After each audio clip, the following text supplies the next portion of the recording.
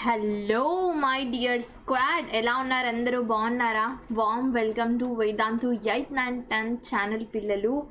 Guys today we are going to do national liberation movements in the colonies already last time ఇంతకు ముందు చేశాను కదా నేను ఈ చాప్టర్ బట్ టుడే కొంచెం ఈజీ పీజీగా మీకు అనిపించేలా నేను ఎక్స్ప్లెయిన్ చేయబోతున్నాను. అండ్ లాస్ట్ టైం నేను పీపీటీతో ఎక్స్ప్లెయిన్ చేశాను. సో కొంతమంది పిల్లలకి ఏ టాపిక్ ఎక్కడుందని కొంచెం కన్ఫ్యూజన్గా అనిపించింది. బట్ ఈ టాపిక్లో నేను ఇంపార్టెంట్ టాపిక్స్ ఏవేవి అని కూడా చెప్పబోతున్నాను. చూడండి గాయస్ ఇది ఇంపార్టెంట్ క్వశ్చన్ ఖచ్చితంగా వస్తుంది అని కొన్నిసార్లు మనం ప్రిడిక్ట్ చేయలేము. బట్ ఈ టాపిక్ ఇంపార్టెంట్ ఈ టాపిక్ నో నుంచి క్వశ్చన్స్ రావచ్చు అని అది మాత్రం మనం ప్రిడిక్ట్ చేయగలము. ఎవరెవరైతే లైక్ చేయలేదో ఫాస్ట్గా లైక్ చేసేయండి. Let me share this in ఆ టెలిగ్రామ్ ఛానల్లో షేర్ చేసేస్తాను. పిల్లలందరూ వచ్చేస్తారు. Guys you also share with your friends will be starting session with in a minute నేను సెషన్ స్టార్ట్ చేసేస్తాను. ఒకసారి హాయ్ హాయ్ చెప్పేసి అందరికీ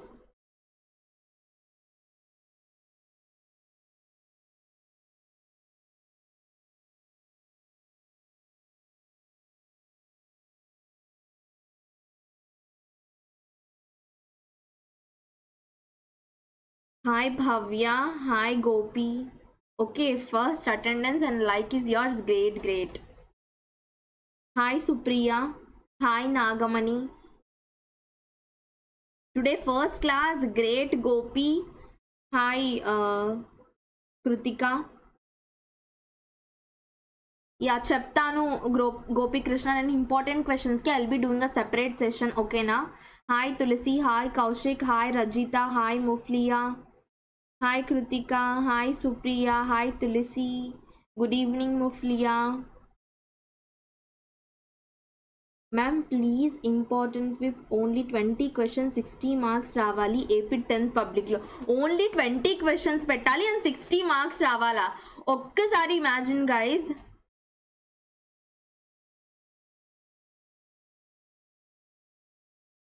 ma'am fifteenth lesson not thirteenth lesson guys AP and TS బుక్స్లో we have I think one extra chapter ఉంది. That's why problem ఏంటి అంటే here కొన్ని నంబరింగ్లో ప్రాబ్లం ఉంది. Don't mind that numbering okay hi Mahesh guys start చేసేద్దామా? ఫాస్ట్గా మీ ఫేవరెట్ ఇమోజీస్ చాట్ సెక్షన్లో షేర్ చేసేయండి.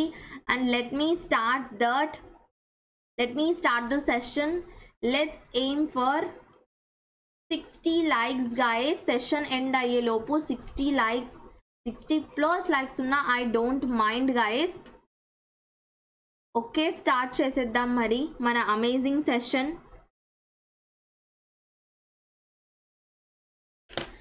guys national liberation movements in the colonies colonies అంటే ఏంటి అంటే ఇప్పుడు మన బ్రిటిషర్స్ అసలు సారీ మన బ్రిటిషర్స్ కాదు మన కంట్రీలో బ్రిటిషర్స్ ఎలాగైతే వచ్చి మన కంట్రీని కాలనీగా చేసుకున్నారు అంటే వేరే వాళ్ళు ఎవరైనా వచ్చి ఒక వేరే కంట్రీని ఆక్యుపై చేసుకొని అక్కడ రూల్ చేస్తే మనం వాటిని ఏమంటాము? We call it as colony so బ్రిటి మన ఇండియా బ్రిటిషర్స్కి కాలనీలా ఉండింది. సో అలాగే కొన్ని మన ఇండియా ఒక్కటే కాదు కొన్ని different countries different different types of countries ఇంకా డిఫరెంట్ టైప్స్ ఆఫ్ కంట్రీస్కి కాలనీస్గా ఉన్నాయి. సో ఆ కాలనీస్ ఏంటి అనేది బేసిక్గా ఆ కాలనీస్ ఏంటి అండ్ ఆ కాలనీస్ నుంచి ఇండిపెండెంట్ నేషన్స్గా ఎమర్జ్ అవ్వడానికి ఎలాంటి టైప్స్ ఆఫ్ మూమెంట్స్ వీళ్ళు చేశారు. ఇప్పుడు మనం చూసుకుంటే వీ అప్డేట్ లైక్ ఇండిపెండెన్స్ కోసం మనం చాలా మూమెంట్స్ చేశాం కదా. సో అలాంటి మూమెంట్సే వేరే కంట్రీస్ చేసిన మూమెంట్స్ గురించి మనం ఇక్కడ చెప్పుకుంటాము. సోషల్ అంటే భయమా? సోషల్ అంటే ఏం భయపడనక్కర్లేదు. ఇట్స్ నాట్ దాట్ ఇండిపెండెంట్ చూడండి చైనా లాంటి ఇండిపెండెంట్ కంట్రీ కూడా వేరే కంట్రీస్ కంట్రోల్లో ఉండింది. వేరే కొలోనియర్ పవర్స్ కంట్రోల్లో ఉండింది పిల్లలు. ఈ చాప్టర్లో మనము అదే కాలనీస్ ఎలాగైతే ఇండిపెండెంట్ నేషన్స్ లాగా అవ్వడానికి కాలనీస్ ఎలా ఇండిపెండెంట్ నేషన్స్గా ఎమర్జ్ అవ్వడానికి ఏమేమి మూమెంట్స్ చేశాయి అనేది మనం చూస్తాము. మూవ్మెంట్స్ అంటే బేసికల్గా ఏంటి? లైక్ ఫైట్స్ ఉంటాయి అందులో రివాల్ట్స్ ఉంటాయి. That is movements only this is your favourite chapter great great Krithika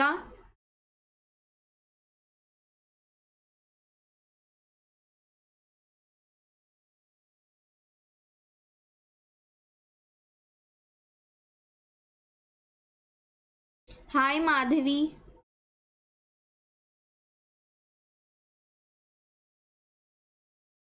Yes Abhiram like quit India movement salt Satyagraha ఇలాంటివన్నీ చేశారు కదా? యా నేను సుప్రియ ఇంపార్టెంట్ క్వశ్చన్స్ కూడా I will be doing separate series ఇక్కడ నేను ఇంపార్టెంట్ టాపిక్స్ చెప్తాను ఓకేనా hi ma'am Gangaiah yeah నేను ఓవరాల్గా ఇంపార్టెంట్ క్వశ్చన్స్ చెప్తాను గంగయ్య ఫర్ షూర్ నేను ఓవరాల్గా ఇంపార్టెంట్ క్వశ్చన్స్ ఖచ్చితంగా చెప్తాను.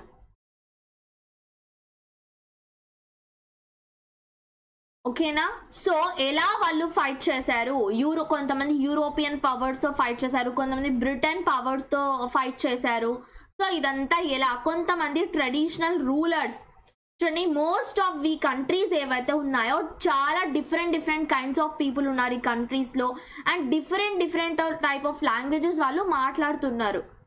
ఓకేనా డిఫరెంట్ రిలీజియన్స్ ఫాలో చేసే వాళ్ళు ఉన్నారు. మన కంట్రీనే మనం ఎగ్జాంపుల్ తీసుకుంటే మీకు ఈజీగా అర్థమవుతుందని నేను ప్రతిసారి మన కంట్రీ రెఫరెన్స్ ఇస్తాను పిల్లలు. హాయ్ గేమ్ చేంజర్ మన కంట్రీలో చూడండి డిఫరెంట్ టైప్ ఆఫ్ కల్చర్స్ ఉన్నాయి డిఫరెంట్ లాంగ్వేజెస్ ఉన్నాయి కదా? So they didn't think of themselves as one the traditional rulers in almost all ప్లేసెస్లో ఎవరైతే ఉన్నారో ఎక్కువ ఆ కాలంలో చూడండి పిల్లలు కింగ్స్ అండ్ ఎంపరర్సే ఉండేవాళ్ళు. కింగ్స్ రాజుల కాలంలోనే ఉండేది కదా అప్పుడు అంతా రైట్ మొనార్కీ ఉండేది. మ్యామ్ మళ్ళీ స్లీపింగ్ మిస్టేక్స్ వస్తున్నాయా? What does that mean Nagur? Sleeping mistake అంటే ఏంటి? నాకు అర్థం కాలేదు. కింగ్స్ అండ్ ఎంపరర్సే ఉండేవాళ్ళు. సో కింగ్స్ అండ్ ఎంపరర్స్ ఎవరైతే ఉన్నారో ఇలాంటి డెమోక్రసీ అండ్ ఫ్రీడమ్ని వీళ్ళు సపోర్ట్ చేయరు ఎందుకు చెప్పండి పిల్లలు? డెమోక్రసీ అండ్ ఫ్రీడమ్ని కింగ్స్ ఎందుకు సపోర్ట్ చేయరు? డెమోక్రసీలో ఏంటి? ఒక్క ప్రతి ఒక కొన్ని పీరియడ్ ఆఫ్ టైంకి ఒక ఫైవ్ ఇయర్స్కి ఒక సిక్స్ సెవెన్ ఇయర్స్కి అలా ప్రతి టైం ఎలక్షన్స్ అనేవి జరుగుతాయి. ఎలక్షన్స్ జరిగిన ప్రతిసారి కూడా ఏం కావాలి? ఎవరు విన్ అవుతారో మనం చెప్పలేము. ఎవరైతే బాగా ప్రతి పరిపాలిస్తాడో తనే విన్ అవుతాడు. సో అదే కింగ్డమ్ ఉందనుకోండి కింగ్డమ్ బాగా పరిపాలించిన పరిపాలియకపోయినా సేమ్ వాళ్ళ పిల్లలకే వస్తుంది.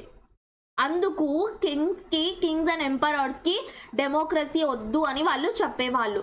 కానీ new new different types of movements అనేవి స్టార్ట్ అయ్యాయి.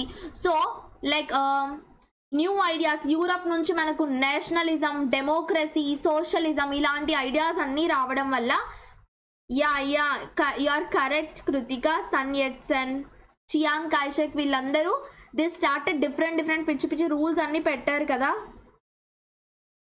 నేను చెప్తాను సుప్రియ ఆ టాపిక్ వచ్చినప్పుడు నేను చెప్తాను. అందుకే లెసన్ ఎండ్ వరకు వినండి. నేను క్లియర్గా ఎక్స్ప్లెయిన్ చేయబోతున్నాను. నేను ఇంపార్టెంట్ టాపిక్స్ ఇది ఇది అని టాపిక్ వచ్చినప్పుడు దాని గురించి మీకు క్లియర్గా ఎక్స్ప్లెయిన్ చేసి నేను చెప్తాను.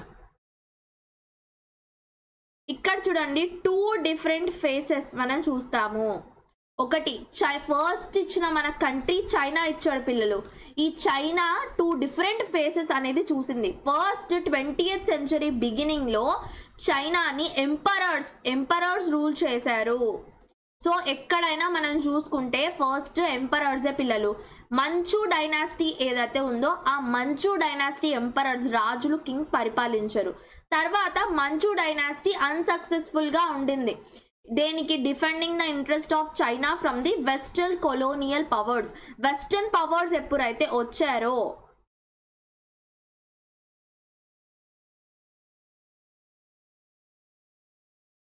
నైట్ నిద్ర రావట్లేదా సోషల్ బుక్ని చూసి? నిద్ర రావట్లేదు సోషల్ బుక్ని చూసి అంటే ఆ భయం వెళ్ళాలంటే ఆ బుక్ ఓపెన్ చేసి చదువుకోవాలి. లేకపోతే బుక్ తల కింద పెట్టుకొని పడుకోండి పిల్లలు. బుక్లో ఉన్నదంతా మీ బ్రెయిన్లోకి ట్రాన్స్ఫర్ అయిపోతుంది. అప్పుడు వెళ్ళేసి ఎగ్జామ్ రాయండి. ఓకేనా?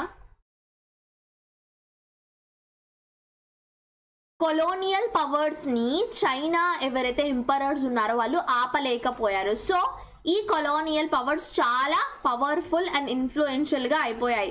They also forced the emperors to give them economic and political concession ఇంకా ఏం చేశారు వీళ్ళు రాజులకి? రాజులకి ఏమని చెప్పారంటే మాకు కొలోనియల్ పవర్స్ ఏమన్నారు? రాజులకి మాకు ట్యాక్సెస్ ఇంపోర్ట్ చేసుకోవడానికి ట్యాక్సెస్ తగ్గించండి. అండ్ చైనీస్ లాస్ ఏవైతే ఉన్నాయో మా మీద ఎక్కువ రుద్దొద్దండి. ఆర్మీ ఫోర్సెస్ని కూడా మెయింటైన్ చేయడానికి మమ్మల్ని హెల్ప్ చేయండి. అని చెప్పారు. మాకు ఆ పవర్స్ ఇవ్వండి అని చెప్పారు. Common people as well as administrators ఎవరైతే ఉన్నారో వీళ్ళందరూ ఇలాంటి పవర్స్ చూడండి పిల్లలు మన ఇంట్లోకి మనం మన ఇల్లుంది మన ఇంట్లోకి ఎప్పుడైతే మనం పక్కా వాళ్ళని తెచ్చి వాళ్ళకు పవర్ అనేది ఇస్తామో వాళ్ళు ఏం చేస్తారు? మన ఇంటిని మొత్తం కొంప కొల్లేరు చేస్తారు. కదా?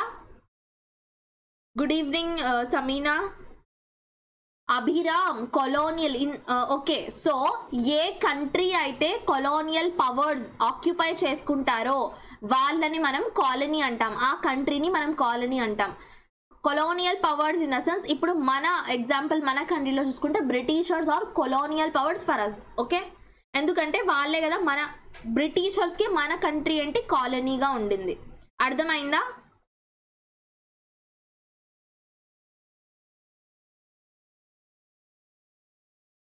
ఎస్ కన్నా I'll tell important questions to నేను చెప్తాను. Nagamani you are going to try that book thing today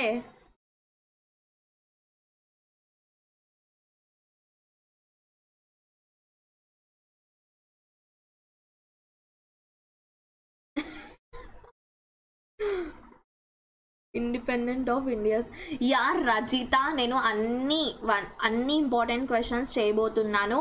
Uh, maybe ఒక two days it will take షాయత్ otherwise నేను టుమారో నుంచి స్టార్ట్ చేస్తాను. I see what I can do what question you want me to reply Gangaiah తల కింద book పెట్టుకొని పడుకుంటే అన్ని questions బుర్రలకు ఎక్కడమా హో అలా అనుకుంటే నువ్వు చాలా అమాయకుడివి. మన ఇంటి మీద మనకు మమకారం ఉంటుంది. అదే పక్క వాళ్ళకు ఉంటుందా? ఉండదు కదా. వాళ్ళకి నచ్చినట్టు వాళ్ళు దోచుకొని ఇంటిని వదిలేసి వెళ్ళిపోతారు. సో ఇక్కడ ఏం చెప్పారు? కొలో ఎంపరర్స్కి కొలోనియల్ పవర్స్ ఈ పవర్స్ అన్ని మాకు ఇచ్చండి ఇచ్చేయండి అని చెప్పారు. ఓకేనా? ఇప్పుడు రిపబ్లిక్ ఎలా ఇస్టాబ్లిష్ చేశారు? రిపబ్లిక్ మొత్తం చైనాలో ఎలా ఇస్టాబ్లిష్ చేశారు అంటే చూడండి మంచు డైనాసిటీని అవతల పడేశారు. ఎప్పుడు? నైన్టీన్ లెవెన్లో. అండ్ ఒక రిపబ్లిక్ని ఇస్టాబ్లిష్ చేశాడు. అదే ఏంటి? సన్ ఎట్ సెన్ రిపబ్లిక్ అది. ఎప్పుడు? Eighteen sixty six to nineteen twenty ఫైవ్లో దీన్ని ఇస్టాబ్లిష్ చేశారు.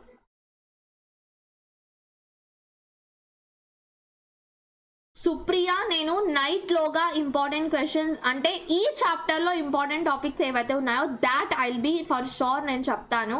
ఓకేనా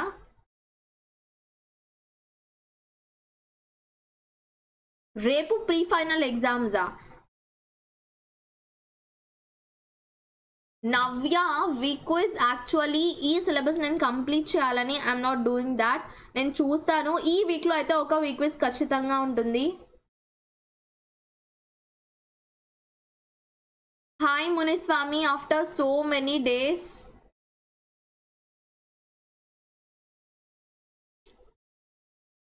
Yat Sen is regarded as the founder of modern China. Modern China founder ఎవరు యట్ సెన్ He came అతను పూర్ ఫ్యామిలీ నుంచి వచ్చిన ఒక మిషనరీ స్కూల్స్లో చదువుకున్నాడు. అక్కడ అతనికి డెమోక్రసీ గురించి క్రిస్టియానిటీ గురించి తెలిసిన ఆ మిషనరీ స్కూల్స్లో. అండ్ అతను he study medicine but he was greatly concerned about the fate of China అతను మెడిసిన్ చదివినా కూడా అతనికి చైనా ఫేట్ ఎలా ఉంటుంది అనే దాని గురించి he used to feel ten worried అనమాట హీ స్టడీడ్ ద చైనాలో ఉన్న ప్రాబ్లమ్స్ అన్నీ చదివాడు. ఏంటి ఇలా ఈ ప్రాబ్లమ్స్ ఇది ఈ ప్రాబ్లం ఇలా ఉంది. సో ఎందుకు ఇది ఇలా జరుగుతుంది? వీళ్ళని ఎలా సాల్వ్ చేయాలి అనే దాని గురించి. His program was called the three principle San Min Chui guys అతను ఇదంతా స్టడీ చేసి ఒక ప్రోగ్రామ్ని డిజైన్ చేశాడు. ఆ ప్రోగ్రామ్ ఏంటి అంటే శాన్ మిన్ చుయ్ ఇవేంటి? ఒకటి నేషనలిజం నేషనలిజం అంటే ఏంటి? గైస్ ఇక్కడ నుంచి ప్రిన్సిపల్స్ ఏవైతే ఉన్నాయో guys this three principles remember this okay one mark క్వశ్చన్స్గా మీకు అడగొచ్చు. ఓకే సన్ ఎట్సన్ ఏ ప్రోగ్రామ్స్ని ఇంట్రొడ్యూస్ చేశాడు. ఓకే అండ్ ఆ ప్రిన్సిపల్స్ ఏంటి? ఏం అవి ప్రిన్సిపల్స్ ఒకటి నేషనలిజం నేషనలిజం అంటే ఏంటి? ఓవర్ థ్రోయింగ్ మంచు డైనాసిటీని తీసుకెళ్ళి పక్కన పడేయడం.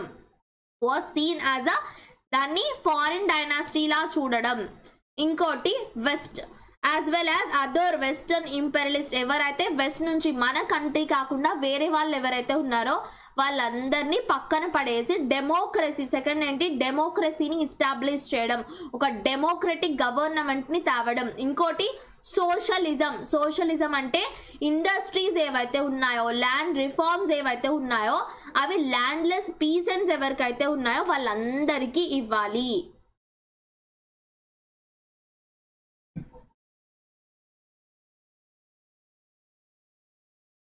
స్పెల్లింగ్ మిస్టేక్స్ అను అన్నది నాగూర్ అక్కడక్కడ స్పెల్లింగ్ మిస్టేక్స్ ఉన్నా నో ప్రాబ్లం. గైస్ బట్ మీ కంటెంట్ ఏదైతే ఉందో కంటెంట్ ఇఫ్ రిలేటెడ్ కంటెంట్ మీరు రాశారంటే చిన్న చిన్న మరీ అంత స్పెల్లింగ్ మిస్టేక్స్ టెన్త్ క్లాస్లో ఎవరు చెక్ చేయరు పిల్లలు. ఇప్పుడు నేషనలిజం దగ్గర ఎన్ఏటిఐఓ ఎన్ఎల్ఐఎస్ఎం రాసినా కూడా ఏమనిపిస్తుంది? అది దూరం నుంచి చూస్తే నేషనలిజం లాగే అనిపిస్తుంది. కదా? ద కంట్రీ ఏదైతే ఉందో controlled by regional military power warlords ద్వారా కంట్రీ అనేది కంట్రోల్లో ఉండింది. బట్ దీన్ని చేంజ్ చేయాలి అని సన్ ఎట్సన్ అనుకున్నాడు. చూడండి సోషల్ అండ్ పొలిటికల్ సిచ్యువేషన్ చైనాలో ఇన్ అన్స్టేబుల్గా ఉండిందంటే ఒకలా లేదు. సో అప్పుడప్పుడు కొన్ని హెచ్చు తగ్గులు అవుతూ ఉన్నాయి. ఆన్ ఫోర్త్ మే నైన్టీన్ నైన్టీన్లో people demonstrated in Beijing to protest against the decisions of Versailles peace conference గుర్తున్న పిల్లలు? వర్జలేస్ పీస్ కాన్ఫరెన్స్ సో ఆ కాన్ఫరెన్స్తో ఇన్స్పైర్డ్ అయ్యి చైనా పీపుల్ ఏం చేశారంటే they started was an ally of the victorious side led by Britain Britain ఏదైతే world వార్లో చేసిందో దాని వల్ల సో దే గాట్ ఇన్ఫ్లుయెన్స్డ్ ఇదంతా మళ్ళీ జరగకూడదు. సో మళ్ళీ వాళ్ళు ఏమనుకున్నారు? జపాన్ వరల్డ్ వార్లో ఏం జరిగిందంటే జపాన్ వీళ్ళ టెరిటరీస్ అన్ని తీసేసుకుంది. సో మళ్ళీ వీళ్ళు ఏమనుకున్నారు? జపాన్ తీసుకున్న టెరిటరీస్ అన్ని మళ్ళీ మనం వాపస్ తెచ్చేసుకోవాలి అని అనుకున్నారు. ఈ మూమెంట్ని May fourth movement this movement is called as May fourth movement.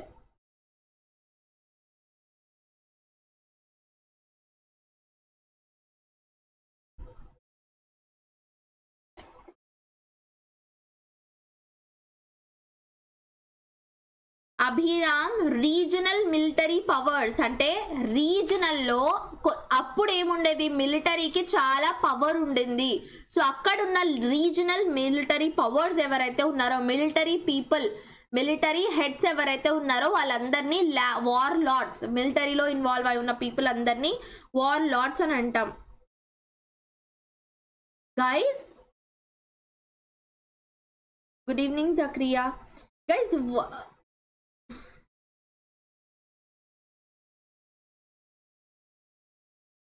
yeah yeah Krithika చైనాని Britain occupy చేసింది. బట్ బ్రిటన్ ఆక్యుపై చేసింది. బట్ జపాన్లో వరల్డ్ వరల్డ్ వార్ టైంలో ఏం జరిగిందంటే జపాన్ చైనాలో ఉన్న టెరిటరీస్ అన్నిటిని తీసేసుకుంది.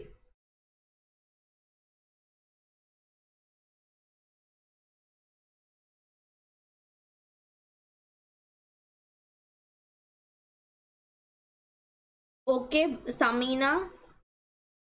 Ma'am, tomorrow I have social grand test on sustainable development and the election process in India lessons.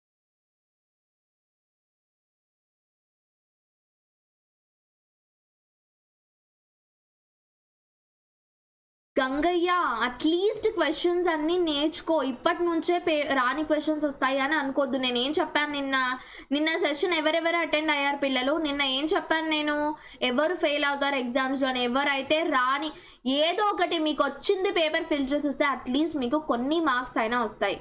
రాకుండా అయినా రావు. మీరు ఏవి క్వశ్చన్స్ చదువుకోకుండా డైరెక్ట్గా ఎగ్జామ్కి వెళ్ళారనుకోండి అప్పుడు that is a big problem ఏవో కొన్ని క్వశ్చన్స్ వచ్చి రాని క్వశ్చన్స్ మీరు అలా రాసినా ప్రాబ్లం ఉండదు. సో మే ఫోర్త్ గైస్ నేను ఇంపార్టెంట్ పాయింట్స్ చెప్తాను. Let me explain only important points hi Sania okay Nagoorvali నేను guys which time will be suitable holidays మీ అందరికీ ఉన్నాయా? Sankranti holidays which time is suitable for you people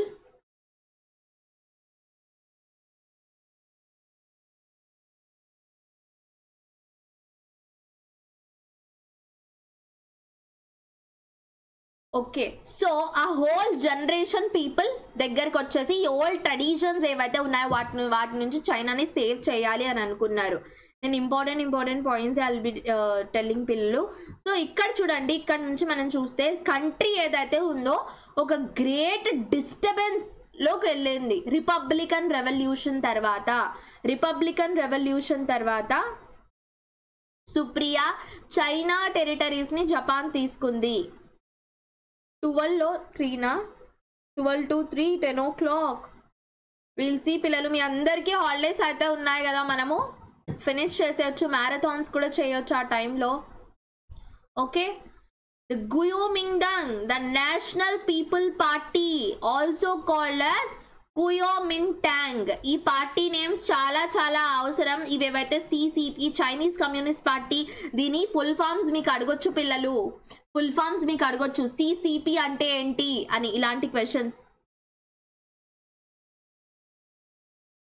ఓకేనా? చూడండి emerged as two major పార్టీస్గా emerge అయ్యాయి. ఏవేవి? KMT as well as CCP parties ఈ రెండు పార్టీస్ ఏం చేశాయంటే కంట్రీ మొత్తాన్ని యునైట్ చేసి అండ్ కంట్రీలో స్టెబిలిటీ ఏంటి? ఒక్కోసారి ఈ గవర్నమెంట్ ఒక్కోసారి ఆ గవర్నమెంట్ ఒక్కోసారి ప్రొటెస్ట్ ఇదంతా ఎందుకు? మనం ఈ కంట్రీలో ఏదైతే పొలిటికల్ సిచ్యువేషన్స్ ఇలా ఉన్నాయో వాటిని స్టేబుల్గా చేద్దాము అని చెప్పే అని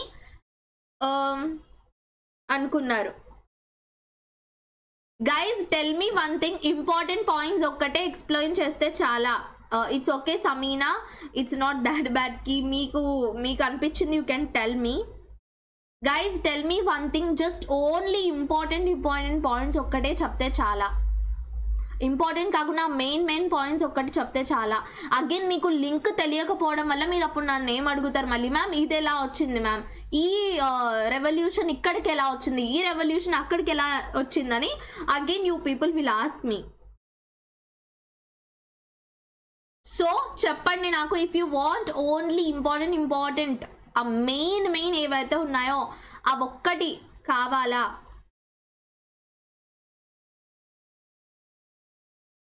మొత్తం చెప్పాలా?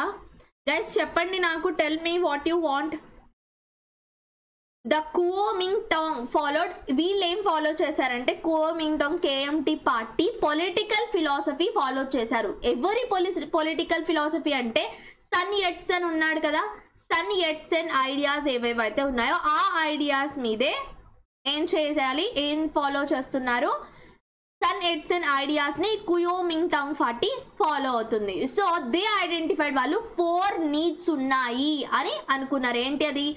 Clothing food housing and transportation ఈ ఫోర్ చాలా చాలా అవసరం అని అనుకున్నారు. సో చియాంగ్ కైషక్ చనిపోయాక after the death of Sun sorry of Sun Yatsen చనిపోయాక చియాంగ్ కైషెక్ ఎవరైతే ఉన్నాడో అతను గుయోమింగ్డంగ్ పార్టీకి లీడర్ లాగా ఎమర్జ్ అయ్యాడు అండ్ అతను ఒక మిలిటరీ క్యాంపెయిన్ లాంచ్ చేశాడు చైనాలో. ఈ వార్ లార్డ్స్ మనం ఇందాక చెప్పుకున్నాం కదా మిలిటరీనే ఎక్కువ అందరినీ అందరి మీద మిలిటరీ ఏదైతే ఉందో దాని మీదే అందరూ మిలిటరీ మీద మిలిటరీ ఏదైతే ఉందో కంట్రీ మొత్తాన్ని కంట్రోల్ చేసేది అని. కానీ అలా మిలిటరీని కంట్రోల్ చేయకుండా సో వీళ్ళు Guomindang party Chiang Kaishek eliminate చేయాలి ఈ మిలిటరీ క్యాంపెయిన్ అని అనుకున్నాడు. కమ్యూనిస్టులు ఎవరైతే ఉన్నారో ఆ వాటినన్నిటిని తీసేసి పక్కన పడేయాలి అని అనుకున్నారు. No Zakriya will be doing only part one this is one shot పిల్లలు. దిస్ ఈజ్ వన్ షాట్ నేను వన్ షాట్లోనే మీకు అంతా ఫినిష్ చేయాలనుకున్నారు అని అనుకుంటున్నాను. వార్ లార్డ్స్ ఎవరైతే ఉన్నారో రీజనల్ లీడర్స్ వీరందరూ ఏం చేశారంటే ఫోర్స్ఫుల్లీ అథారిటీని తీసుకున్నాడు. ఫైనల్గా చియాంగ్ కాయిషెక్ ఏమనుకున్నాడంటే నేషన్ మొత్తాన్ని మిలిటరీ మిలిటరైజ్ చేసేయాలి. నేషన్ మొత్తంలో ఎక్కువ మిలిటరీ పవర్ని తేవాలి అని అనుకున్నాడు. తర్వాత ఒక habit and instinct for unified behaviour ఇంకోటి ఏం చెప్పాడంటే కదా శ్రియాంక్ కైషక్ చెప్పిన ఇంకో వాటి ఏంటంటే అందరూ కలిసి కట్టుగా ఉన్న ఒక బిహేవియర్ అందరి దగ్గర సేమ్ బిహేవియర్ ఉండాలి అని చెప్పాడు. గైస్ ఇక్కడ చూడండి పోస్టర్ గైస్ ఇలాంటి పోస్టర్స్ ఏవైతే ఉన్నాయో ఇలాంటి పోస్టర్స్ని మీరు ఎప్పుడూ హల్కాగా తీసుకోవద్దు. లైట్ తీసుకోవద్దండి ఇలాంటి పోస్టర్స్ని ఇలాంటి పోస్టర్స్ నుంచి మీకు క్వశ్చన్స్ వస్తాయి.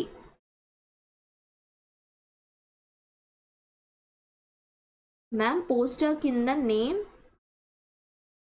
destroy the old world build a new world అదే పోస్టర్ కింద ఉందని పే ఉన్నది. ఏమిచ్చాడు caption guys it's a caption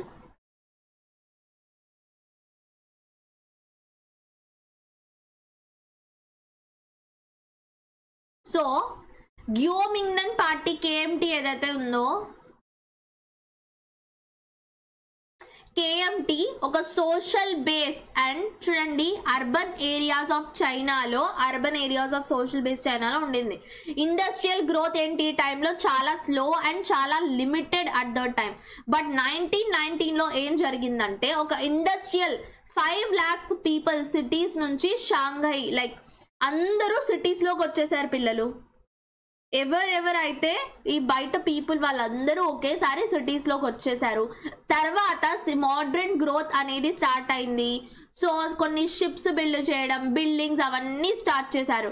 most wear పెట్టి అర్బానిటీస్ చూడండి ట్రేడర్స్ షాప్ కీపర్స్ వాళ్ళందరూ సిటీస్లోకి వచ్చేసారు. అర్బన్ వర్కర్స్ వాళ్ళందరూ.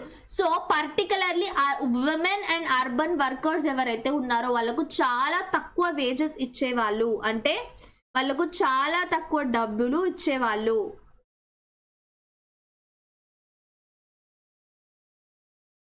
జక్రియా నేను ఆల్రెడీ కంప్లీట్ చేసేసాను కదా ఆ టూ పార్ట్స్లో ఈ లెసన్ని నేను కంప్లీట్ చేశాను.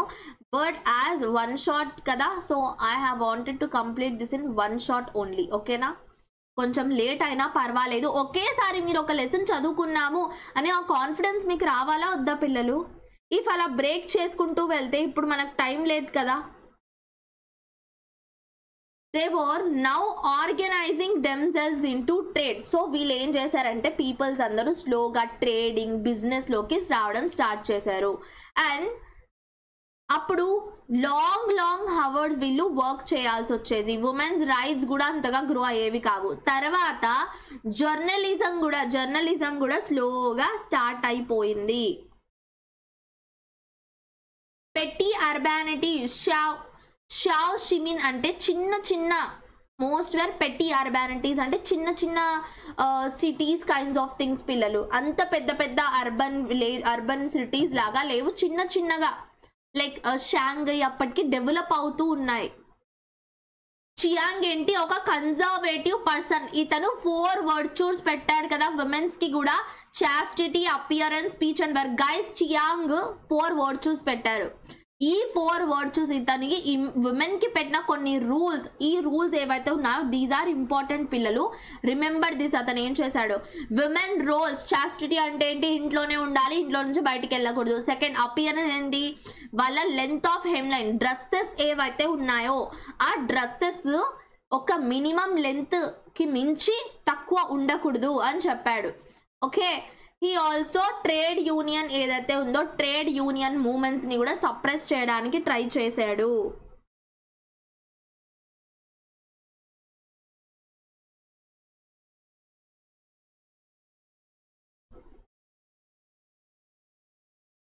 Guomindang despite its attempts to unite the country fail అయిపోయారు. నారో సోషల్ బేస్ వల్ల. అండ్ పొలిటికల్ విజన్ కూడా అంతగా లేదు. అందువల్ల ఫెయిల్ అయిపోయారు పిల్లలు. So a major plan in Sun Yatsen's ప్రోగ్రామ్లో was to control the capital capital మొత్తాన్ని ఒక చోటికి తెచ్చి ల్యాండ్ మాత్రం అందరికీ ఈక్వల్గా పంచాలి అని గుయమింగ్ సన్ ఎడ్సన్ అనుకున్నాడు. బట్ అది ఎప్పుడు జరగలేదు. ఇప్పుడు రైజ్ ఆఫ్ కమ్యూనిస్ట్ పార్టీ చైనాలో కమ్యూనిస్ట్ పార్టీ ఎలా రైజ్ అయింది అనేది చూడండి. జాపనీస్ నైన్టీన్ థర్టీ సెవెన్లో చైనాని ఇన్వైట్ చేసుకున్నారు. చైనా మీద కంట్రోల్ తీసుకున్నారు. గుయోమింగ్డమ్ పార్టీ ఏదైతే ఉందో విత్డ్రా సో మన వల్ల కాదు పాలిటిక్స్ అనేసి వెనక్కి వచ్చేసారు వెనక్కి వచ్చేసారు వెనక్కు తగ్గిపోయారు పార్ట్ పాలిటిక్స్ నుంచి. సో ఒక పెద్ద వార్ అనేది జరిగింది. దానివల్ల చైనా చాలా వీక్ అయిపోయింది. నైన్టీన్ ఫార్టీ ఫైవ్ నుంచి నైన్టీన్ ఫార్టీ ఫైవ్లో థర్టీ పర్సెంట్ ప్రైసెస్ ఏవైతే ఉన్నాయో అవి రైజ్ అయిపోయాయి. Thirteen percent of prices has rose. So ఇవంతా ఇదంతా ఏదైతే ఉందో కంప్లీట్గా ఆర్డినరీ పీపుల్ నార్మల్ పీపుల్ని ఇది డిస్ట్రాయ్ చేసేసింది. అండ్ రూరల్ చైనా ఈ టైంలో టూ క్రైసిస్ ఫేస్ చేసింది. ఒకటేంటి? ఎకలాజికల్గా అంటే సాయిల్ సరిగ్గా లేదు. డిఫారెస్ట్రేషన్ చేసేసారు ఫ్లడ్స్ వచ్చేసాయి. సెకండ్ ఏంటి? సోషియో ఎకానమిక్ సోషియో ఎకానమిక్ అంటే ఏంటి అంటే సో ఎక్స్ప్లాయిటేషన్ ఏదైతే డబ్బుల పరంగా ల్యాండ్ పరంగా ఏదైతే ఉందో వాళ్ళు చాలా చాలా పూర్గా ఇంకా టెక్నాలజీ కూడా అంత డెవలప్ అవ్వలేకపోయింది చైనాలో. తర్వాత నైన్టీన్ ట్వంటీ వన్లో సిసిపి చైనీస్ కమ్యూనిస్ట్ పార్టీ ఏదైతే ఉందో Bhavya why Chinese invaded China అంటే ఎవరికైనా వార్లో ఏం కావాలి? సో మనం గైస్ చెస్ చెస్ ఎవరెవరు ఆడతారు పిల్లలు మీలో? గైస్ చెస్ ఎవరెవరు ఆడతారు పిల్లలు మీలో? చెస్ ఆడే పిల్లలకి అయితే తెలుస్తుంది. చెస్ ఎందుకు ఆడతారు? మనం అలా వెళ్ళి వెళ్ళి పక్కవాడి రాజ్యాన్ని ఆక్యుపై చేసుకుంటే ఎన్ని రాజ్యాలు ఆక్యుపై చేసుకుంటే అంత పవర్ కదా ఎవరైనా. అంత పవర్ఫుల్ వాళ్ళ రాజ్యం అంత పవర్ఫుల్గా అవుతుంది.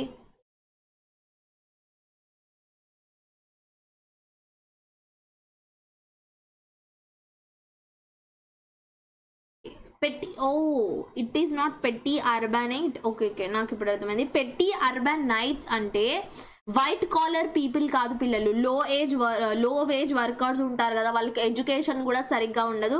అలాంటి వాళ్ళను మనం పెట్టి అర్బానైట్స్ అని అంటాం. అర్బానిటీ అనుకున్నాను నేను.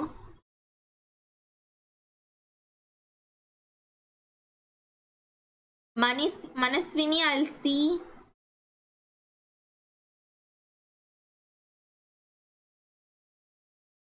Russian revolution జరిగాక రష్యన్ రెవల్యూషన్ తర్వాత సిసిపి అనేది నైన్టీన్ ట్వంటీ వన్లో స్టార్ట్ అయింది. The success Russian revolution success అయ్యాక ఒక పవర్ఫుల్ వరల్డ్ మొత్తంలో పవర్ఫుల్ ఇన్ఫ్లుయెన్స్ ఉండింది కదా. లీడర్స్ లెనిన్ ఎవరైతే లెనిన్ లాంటి leaders establish the Comintern Comintern March nineteen ఎయిటీన్లో దే హ్యావ్ ఇస్టాబ్లిష్డ్ ఓకే ఎందుకు ఇస్టాబ్లిష్ చేశారంటే వరల్డ్లో ఉన్న గవర్నమెంట్ అన్నిటినీ ఒక దగ్గరికి తెచ్చి ఎక్స్ప్లాయిటేషన్ ఈ వార్ ద్వారా దోచుకోవడం ఏదైతే ఉందో దాన్ని ఆపడానికి. Yes Sameena you're almost correct small workers who are uneducated white collar job లేని పిల్లలు లేని వాళ్ళు లో వేజెస్కి ఎవరైతే పని చేస్తారో డైలీ వేజెస్కి వాళ్ళు. ఫస్ట్ ఫెబ్లో క్లాస్ స్టార్ట్ చేస్తారో? ఐ సీ పిల్లలు బికాస్ దిస్ టెన్ స్టూడెంట్స్ మీద నేను ఎక్కువగా ఫోకస్ చేస్తున్నాను because they have board exams కదా. ఇప్పుడు Mao Zedong eighteen ninety three to nineteen seventy సిక్స్లో మేజర్ సిసిపి లీడర్గా ఈయన ఎమర్జ్ అయ్యారు.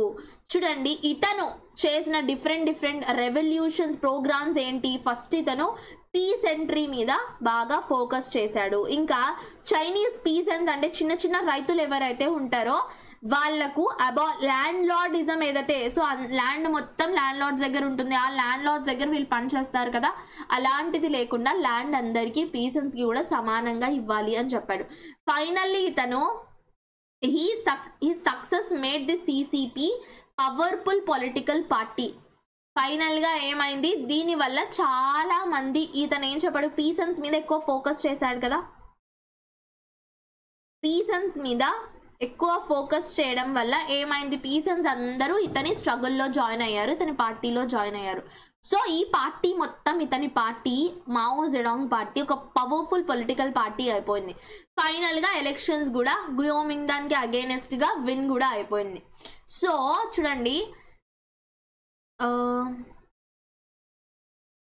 ఇతను ఏమేం చేశాడు అనే దాని గురించి మనం చూసుకుంటే హీ బికేమ్ ఉమెన్స్ ప్రాబ్లమ్స్ ఏవేవైతే ఉన్నాయో ఈ ప్రాబ్లమ్స్ గురించి ఇతను అవేర్ అయిపోయాడు. అండ్ ఇతనికి తెలిసిపోయింది ఏంటి రూరల్ విమెన్ అసోసియేషన్స్ కూడా ఇతను ప్రాబ్లమ్స్ అండ్ ఈ ఏవేవైతే రూరల్ విమెన్ అసోసియేషన్స్ మహిళా సంఘాలని కూడా ఏం చేశాడు? హెల్ప్ చేశాడు ఎమర్జ్ అవ్వడానికి. Bhav yeah yeah Bhavya journalism in the sense journalist అంటే ప్రెస్ జర్నలిజం అంటే this media and all thing okay hi Gauri.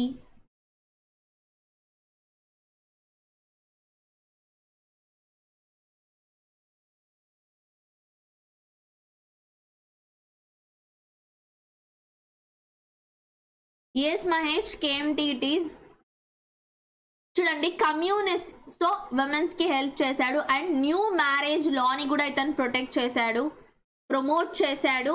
So arrange law that forbade arranged marriages చేసుకోకూడదు. ఇంకా మ్యారేజ్ కోసం కాంట్రాక్ట్స్ ఉండకూడదు. డివోర్స్ కూడా చాలా సింపుల్గా ఉండాలి అనేది అతను స్టార్ట్ చేశాడు ఇలాంటివి కూడా. ఇంకా కమ్యూనిస్ట్ పార్టీ ఏదైతే ఉందో కొన్ని to find another base for themselves Guomindang ఏం చేసిందంటే వాళ్ళని బ్లాక్ చేసేసింది కొన్ని సిచ్యువేషన్స్లో సో వాళ్ళు ఏం చేశారు? దీనికి కూడా సొల్యూషన్ తేవాలి అని అనుకున్నారు. లాంగ్ మార్చ్ ఒకటి చేశారు nineteen thirty four to thirty ఫైవ్లో ఎందుకు? దీంట్లో సిక్స్ థౌజండ్ మైల్స్ జర్నీ చేశారు. షాంఘై వరకు జర్నీ చేశారు. ఇంకా యనాన్లో ఒక న్యూ బేస్ అనేది స్టార్ట్ చేశారు వాళ్ళ పార్టీది. ఇంకా ఈ ప్రోగ్రామ్స్ వార్ లార్డ్లిజం ఏదైతే ఉందో వార్ ల్యాండ్ లార్డ్స్ని ఏం చేయాలి? వార్ లార్డ్స్ ఎవరైతే ఉన్నారో ఎవరైతే మిలిటరీ కంట్రీ మొత్తాన్ని కంట్రోల్ చేస్తుందో ఇది కూడా ఉండకూడదు అని ఇలాంటివన్నిటిని. సో ఒకటి వార్ లార్డిజం ఇంకోటి ఫారిన్ ఇంపేరియలిజం ఫారిన్ నుంచి ఎవరైతే వచ్చి మనల్ని కంట్రోల్ చేయడానికి టైం చేస్తున్నారో ట్రై చేస్తున్నారో అవి రెండు కంట్రోల్ చేయడానికి ఇతను ఒక లాంగ్ మార్చ్ తీసుకున్నాడు. రీజన్స్ చూడండి పిల్లలు ఎందుకు లాంగ్ మార్చ్ తీసుకున్నాడు? అంటే these two are the reason foreign imperialism as well as warlordism so తర్వాత nineteen thirty seven to nineteen forty ఫైవ్లో మళ్ళీ జపాన్ చైనాని అటాక్ చేసి ఆక్యుపై చేసుకుంది. చాలా పార్ట్ ఆఫ్ చైనాని ఆక్యుపై చేసింది. అభిరామ్ నేను చెప్తాను. ఐ గివ్ దట్ లిస్ట్ ఓకేనా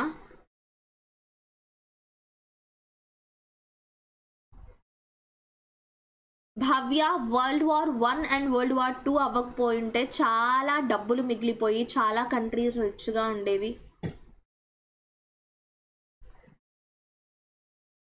దే ట్రై టు ఇంపోజ్ ఒక క్రూయల్ కొలోనియల్ మిలిటరీ చైనా మొత్తంలో జపాన్ ఎప్పుడైతే చైనాని ఇన్వైట్ చేసుకుందో జపాన్లో ఒక క్రూయల్ మిలిటరీ రూల్ అనేది స్టార్ట్ చేసేసారు చైనా వాళ్ళు. అండ్ దీని వల్ల ఏమైంది? చైనీస్ సొసైటీ అండ్ ఎకానమీ మీద చాలా ప్రభావం చూపించింది. Guomindang and CCP Chinese communist party ఏం చేశారు? వాళ్ళందరూ జపాన్కి అగైనెస్ట్గా కలిసి ఫైట్ చేయాలి అని డిసైడ్ అయ్యారు. తర్వాత జపాన్ ఏం చేసింది? సరెండర్ చేసేసింది. ఎప్పుడు? నైన్టీన్ ఫార్టీ ఫైవ్ ఆగస్ట్లో. గుయోమింగ్డన్ అండ్ సిసిపి తర్వాత కలిసి చైనాని కంట్రోల్ చేయడానికి ఒక వార్ అనేది చేశారు. Eventually CCP Chinese communist party ఏదైతే ఉందో అది గెలిచింది పిల్లలు. Okay? And Guomindang was forced to set up its government to the island of Taiwan. తైవాన్లో ఉన్న ఐలాండ్లో మళ్ళీ గుయోమింగ్డన్ తన గవర్నమెంట్ ఏదైతే ఉందో తీసుకెళ్ళి అక్కడ పెట్టేసుకో అని చెప్పారు. ఇప్పుడు న్యూ డెమోక్రసీ ఎలా ఎస్టాబ్లిష్ అయింది? ఒక కొత్త డెమోక్రసీ ఎలా ఎస్టాబ్లిష్ అయింది? అని మనం చూసుకుంటే చూడండి China the People's Republic of China government ఏదైతే ఉందో People's Republic of China government nineteen forty నైన్లో స్టార్ట్ చేశారు. ఓకే దీని ప్రిన్సిపల్స్ ఏంటి guys remember this party name Republic of China okay new democracy ఏంటి first new democracy Ma'am, is it good to short notes now? What are you telling Samina? I didn't get you.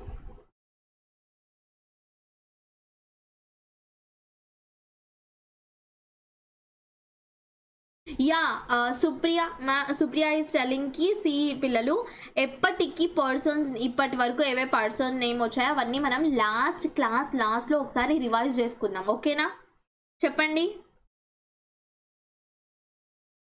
Yeah it is short notes ఎప్పుడు create చేసుకున్నా it will be very very easy for you people guys మీ అందరి దగ్గర materials ఉన్నాయి కదా? క్వశ్చన్స్కి answers ఉండేవి? Yes it is always good to make notes Amina yeah Yes, yes, you are correct Navya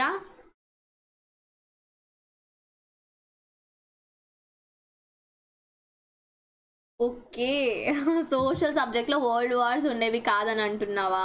syllabus కొంచెం see guys Navya is టెలింగ్కి world war one and world war two జరగకపోయింటే మనకు సబ్జెక్ట్లో subject syllabus reduce అయిపోయేదని చెప్తుంది.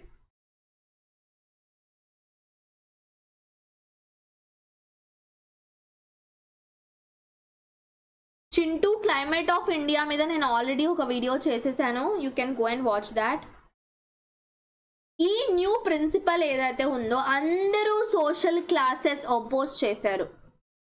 Sorry social classes ఈ landlordism imperialism ఇది ఏదైతే ఉంటుందో so వీటన్నిటిని అందరూ అపోజ్ చేయడం స్టార్ట్ చేశారు. ల్యాండ్ లార్డిజం ఉండకూడదు ఇంపెరియలిజం ఉండకూడదు. ఎవరు సుపీరియర్ కాదు అని.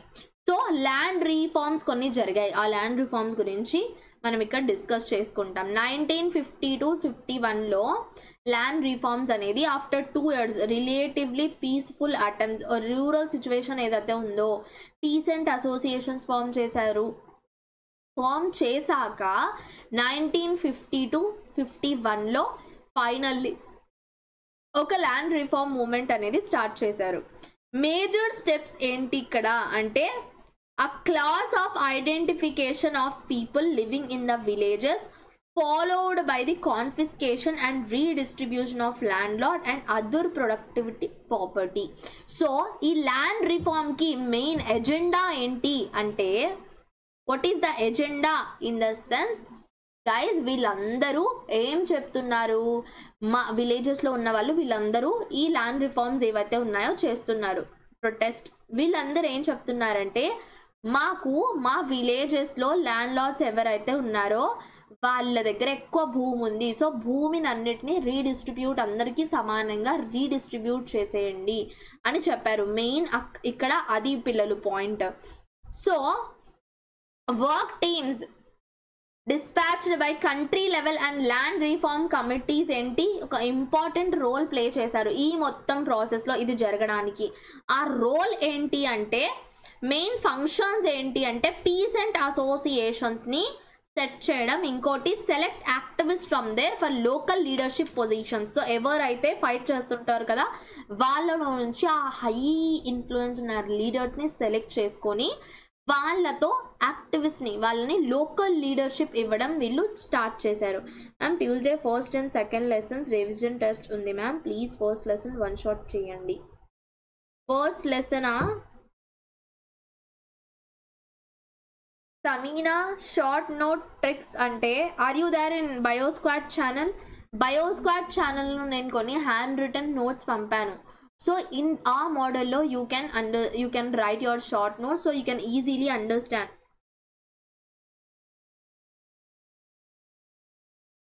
Supriya years and names గుర్తుపెట్టుకోవాలంటే ఒక లెసన్లో వచ్చిన ఇయర్ నేమ్స్ అన్ని నోట్బుక్. సో నోట్బుక్ పెట్టేసుకొని పేర్ పర్సన్ పేర్లు and as well as years ఏవైతే ఉన్నాయో అవన్నీ రాసుకోండి. ప్రతి లెసన్ది ఇలా ఒక పేజ్ క్రియేట్ చేసుకోండి. మోస్ట్గా మనం ఇయర్స్ ఎక్కడ గుర్తుపెట్టుకోవాల్సి వస్తుంది? హిస్టరీలోనే పిల్లలు. మనకు పేపర్ వన్లో కూడా ఉంది. పేపర్ వన్లో కూడా మనకు ఉంది బట్ అక్కడ మరి అంత డెప్త్లు కొన్ని సెన్సెసెస్ అవి ఇవి ఉంటాయి. బట్ మనం గుర్తుపెట్టుకోవాల్సింది ఇక్కడే కదా timelines Supriya this is the best trick పిల్లలు. This is the best trick to do okay a chapter మొత్తం చాప్టర్లో ఒక పేపర్ పెట్టుకొని ఒక నోట్బుక్ మెయింటైన్ చేయండి. ఆ చాప్టర్లో person names and timelines వస్తాయి కదా? ఆ టైం లైన్స్ అన్నీ నోట్బుక్లో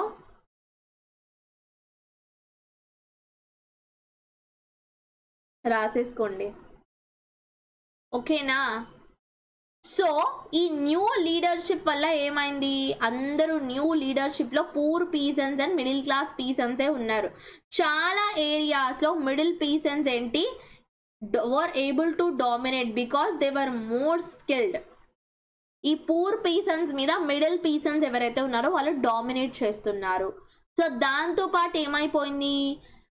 ద వర్క్ టీమ్స్ ఎవరైతే ఉన్నారో విలేజెస్లో ల్యాండ్ లార్డ్స్కి అగైనెస్ట్గా మాస్ మీటింగ్స్ ట్రయల్స్ అనేవి స్టార్ట్ స్టార్ట్ అయిపోయాయి పిల్లలు.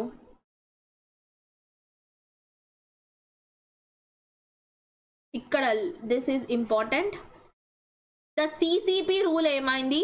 ఫైనల్లీ ఇస్టాబ్లిష్డ్ సింగిల్ పార్టీ రూల్ని సిసిపి రూల్ స్టార్ట్ చేసింది. అదేంటి అంటే దాంట్లో సుప్రీం లీడర్స్ ఎవరు? చైర్మన్ అన్నిటికంటే పవర్ఫుల్ పర్సన్ ఎవరు? అంటే చైర్మన్ అని చెప్పడం స్టార్ట్ చేసేసారు అపోజిషన్ యాక్టివిటీస్ అన్నీ ఏం లేవు అని చెప్పారు. దిస్ ఈజ్ మన whole China story this is the whole ఈ ల్యాండ్ రిఫార్మ్స్ జరిగాక స్లోలీ ఎవరు ల్యాండ్ వాళ్ళు కొంచెం మిడిల్ పీసన్స్ మిడిల్ తర్ అంత పూర్ పీసన్స్ మిడిల్గా ఉన్న పీసన్స్ అందరూ స్లోగా గ్రో అయ్యారు. తర్వాత లిటరసీ అండ్ పొలిటికల్ ఎడ్యుకేషన్ గురించి కూడా మనుషులు బాగా చదువుకున్నారు. సో ఇలా లైక్ దిస్ ఎవరైతే ఉన్నారో వీళ్ళు ల్యాండ్ రిఫార్మ్స్ జరిగాయి అండ్ కొంచెం కొంచెం అలా అలా ఇండిపెండెంట్గా అయ్యారు. హాయ్ పావని. గైస్ ఇది చైనా స్టోరీ ఇప్పుడు వియత్నాం స్టోరీ మనం గైస్ ఇందులో we have three China Vietnam and Nigeria గురించి మనకి ఇచ్చాడు పిల్లలు. ఈ త్రీ కంట్రీస్ గురించి మనం డిస్కస్ చేసుకుంటాం సో ఎలా ఎలా ఇండిపెండెన్స్ వచ్చింది? జస్ట్ ఆ ఏదైతే ఒక స్టెప్ ఒక స్టెప్ ఒక స్టెప్ ఉంటుంది కదా వాళ్ళ హిస్టరీలో జరిగింది. That will be learning colonial experience అసలు చైనా వియత్నాంకి ఎలా? వియత్నాంలో ఎంతమంది కొలోనైజర్స్ పిల్లలు? టూ కొలోనైజర్స్ ఉన్నారు. కొలోనైజర్స్ అంటే ఇప్పుడు బ్రిటిషర్స్ మనకు కొలోనైజర్స్ బ్రిటన్ పీపుల్ మనకు కొలోనైజర్స్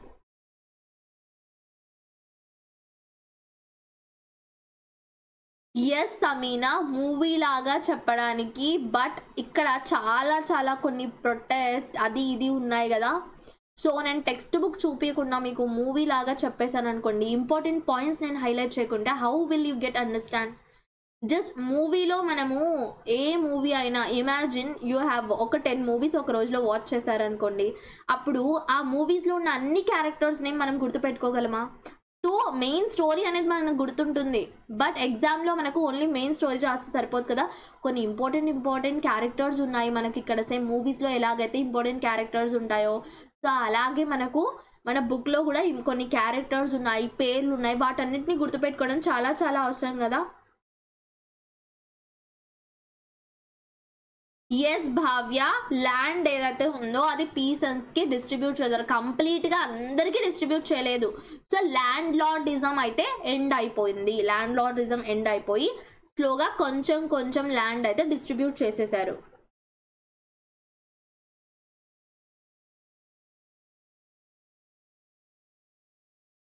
వియత్నాంలో టూ కాలనైజర్స్ ఉన్నారు. సో చూద్దాం ఎవరెవరు. కొలోనియల్ ఎక్స్పీరియన్స్ ఫస్ట్ నైన్టీన్త్ సెంచరీలో చూడండి Vietnam direct rule French direct rule కింద వియత్నాం వచ్చేసింది. ఫ్రెంచ్ ఏం చేసింది? ఒక పప్పెట్ వియత్నామీస్ని ఎంప వియత్నాంలో ఉన్న ఎంపరర్స్ ఎవరైతే ఉన్నారో వాళ్ళని తోలు బొమ్మల్లాగా ఆడుకుంది. దాని వల్ల ఏమైందంటే Vietnam the way Britain ruled India. నేను ఇందాక చెప్పాను కదా మీకు ఆల్రెడీ ఇండియాని ఎలాగైతే రూల్ చేశారో same in the same situation ఇక్కడ వియత్నాంని ఫ్రెంచ్. అదే చైనా సిచ్యువేషన్లో చూసుకుంటే మనం అక్కడ అక్కడ ఎవరు చెప్పండి పిల్లలు? జపాన్. ఇక్కడ French. Exports and landlordism ఎలా జరిగింది అంటే వియత్నాంలో చూడండి వియత్నాం ఒక లార్జెస్ట్ రైస్ అనేది వియత్నాంలో చాలా లార్జ్గా ఎక్స్పోర్ట్ అయ్యేది పిల్లలు. సో ఇక్కడ ఒక స్ట్రాటజీ ఉంది. First Vietnam as an export of rice అప్పటికే ఆల్ ఎందుకు రైస్ని అండ్ ఇంకోటి ఏంటి అంటే ఫ్రెంచ్ ఏమనుకున్నారు? ఫ్రెంచ్ పీపుల్ కొలోనియర్స్ ఫ్రెంచ్ కొలోనియర్గనైజర్స్ ఏమనుకున్నారంటే వియత్నాంని ఇంకా పెద్ద ఎక్స్పోర్టర్ రైస్ ఎక్స్పోర్టర్గా చేంజ్ చేయాలి అని అనుకున్నారు. దీనికోసం వాళ్ళు ఏం చేశారు? గైజ్ ఇప్పుడు చెప్తున్నాను కదా ఈ strategies threefold strategy this strategy is important పిల్లలు this threefold strategy is important remember it ఓకేనా ఎస్ నవ్య నేను తిన్నాను. మీరు తిన్నారా? Yeah Samina yes our India failed in distributing land Pavani every day మనకు సెవెన్కి క్లాస్ ఉంటుంది. చూడండి ఫస్ట్ ఏంటి ఇరిగేషన్ ఏదైతే ఉందో ఆ ఇరిగేషన్ నెట్వర్క్ని బాగా అంటే కల్టివేషన్ చేయడానికి అందరినీ సపోర్ట్ చేయాలి అందరి ఫార్మర్స్కి హెల్ప్ చేయాలని అనుకున్నారు. సెకండ్ ఏంటి? ల్యాండ్ లార్డ్స్ ఎవరైతే ఉన్నారో వాళ్ళని ఎంకరేజ్ చేయాలి. అండ్ థర్డ్ ఏంటి? ఎంకరేజింగ్ అగ్రికల్చర్ ప్రోడక్ట్స్ ఏవైతే ఉన్నాయో రైస్ రబ్బర్ వీటన్నిటిని బాగా మార్కెటింగ్ చేయాలి. గైస్ ఇక్కడ ల్యాండ్ లార్డ్స్ వీళ్ళు ఎవరిని ఎంకరేజ్ చేస్తున్నారు? ఫ్రెంచ్ ల్యాండ్ లార్డ్స్ని ఎంకరేజ్ చేస్తున్నారు. ఫార్మర్స్ని దే ఆర్ నాట్ ఎంకరేజింగ్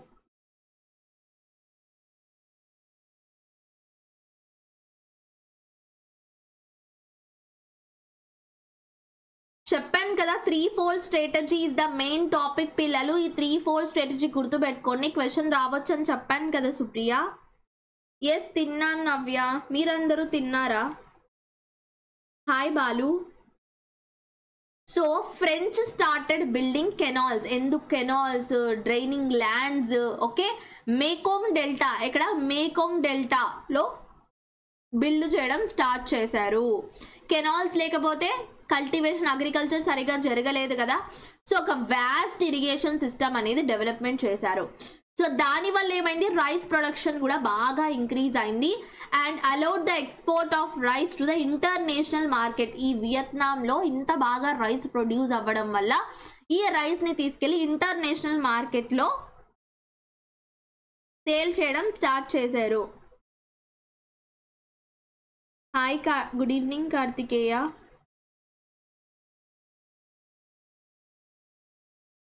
మళ్ళీ భవ్య ఎందుకు ఫ్రెంచ్ ల్యాండ్ లార్డ్స్ని ఎంకరేజ్ చేస్తుందంటే పిల్లలు ల్యాండ్ లార్డ్స్ దగ్గర లార్జ్ అమౌంట్ ఆఫ్ ల్యాండ్ ఉంటుంది.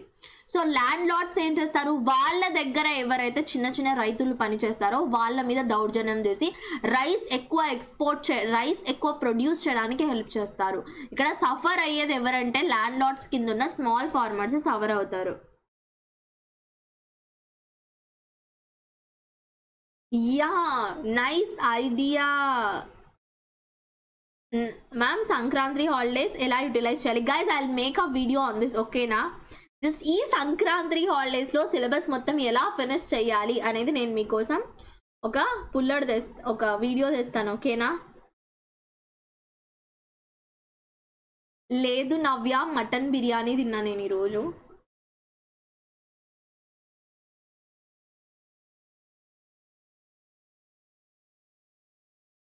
యా భవ్య యా కృతిక హిస్టరీని స్టోరీలా గుర్తుపెట్టుకోవాలని అంటారు. బట్ రిపీటెడ్గా చదివితే అది మాత్రం స్టోరీ లానే అనిపిస్తుంది.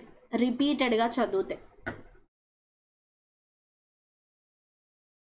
గ్రేట్ సుప్రియ ఒక న్యూ బెట్ బుక్ పెట్టి అందులో మొత్తం note చేసుకుంటుండో. It would be very very great for you. Yeah yeah Samina I try as soon as possible నేను చేయడానికి ట్రై చేస్తాను ఓకేనా? Vietnam has started exporting two third rice of its production so ఎంత అయితే rice produce అవుతుందో అందులో two third rice మొత్తం export అంటే బయట ఇంటర్నేషనల్ మార్కెట్లో సెల్ చేయడం స్టార్ట్ చేసింది. ఓకేనా నైన్టీన్ థర్టీ వన్కి ఏమైందంటే third largest exporter world మొత్తంలోనే rice exporter third largest rice exporter వియత్నాంగా అయిపోయింది. సో ఇంకా ఎక్స్పోర్ట్ చేయడానికి చూడండి ఏదైనా రవాణా చేయడానికి ఇక్కడ నుంచి అక్కడికి తీసుకెళ్ళడానికి రోడ్స్ కావాలి రైల్వేస్ కావాలి. ఫ్రెంచ్ ఏం చేశారు? సో వాటిని కూడా బిల్డ్ చేయడం స్టార్ట్ చేశారు. ఒక ఇండో చైనా రైల్ నెట్వర్క్ కూడా కన్స్ట్రక్ట్ చేశారు. Vietnam and southern parts of Vietnam and చైనాకి సో ఈ విధంగా అనేది జరిగింది. ఇంకా రబ్బర్ ప్లాంటేషన్స్ కూడా వీళ్ళు బాండెడ్ లేబర్ అంటే లేబర్స్తో బాండ్ రాయించుకుంటారు. ఇంతకాలం మీరు వర్క్ చేయాలి అని. అలా చేసి రబ్బర్ ప్లాంటేషన్స్ చేశారు. రబ్బర్లో కూడా బాగా రబ్బర్ని కూడా బాగా ప్రొడ్యూస్ చేశారు.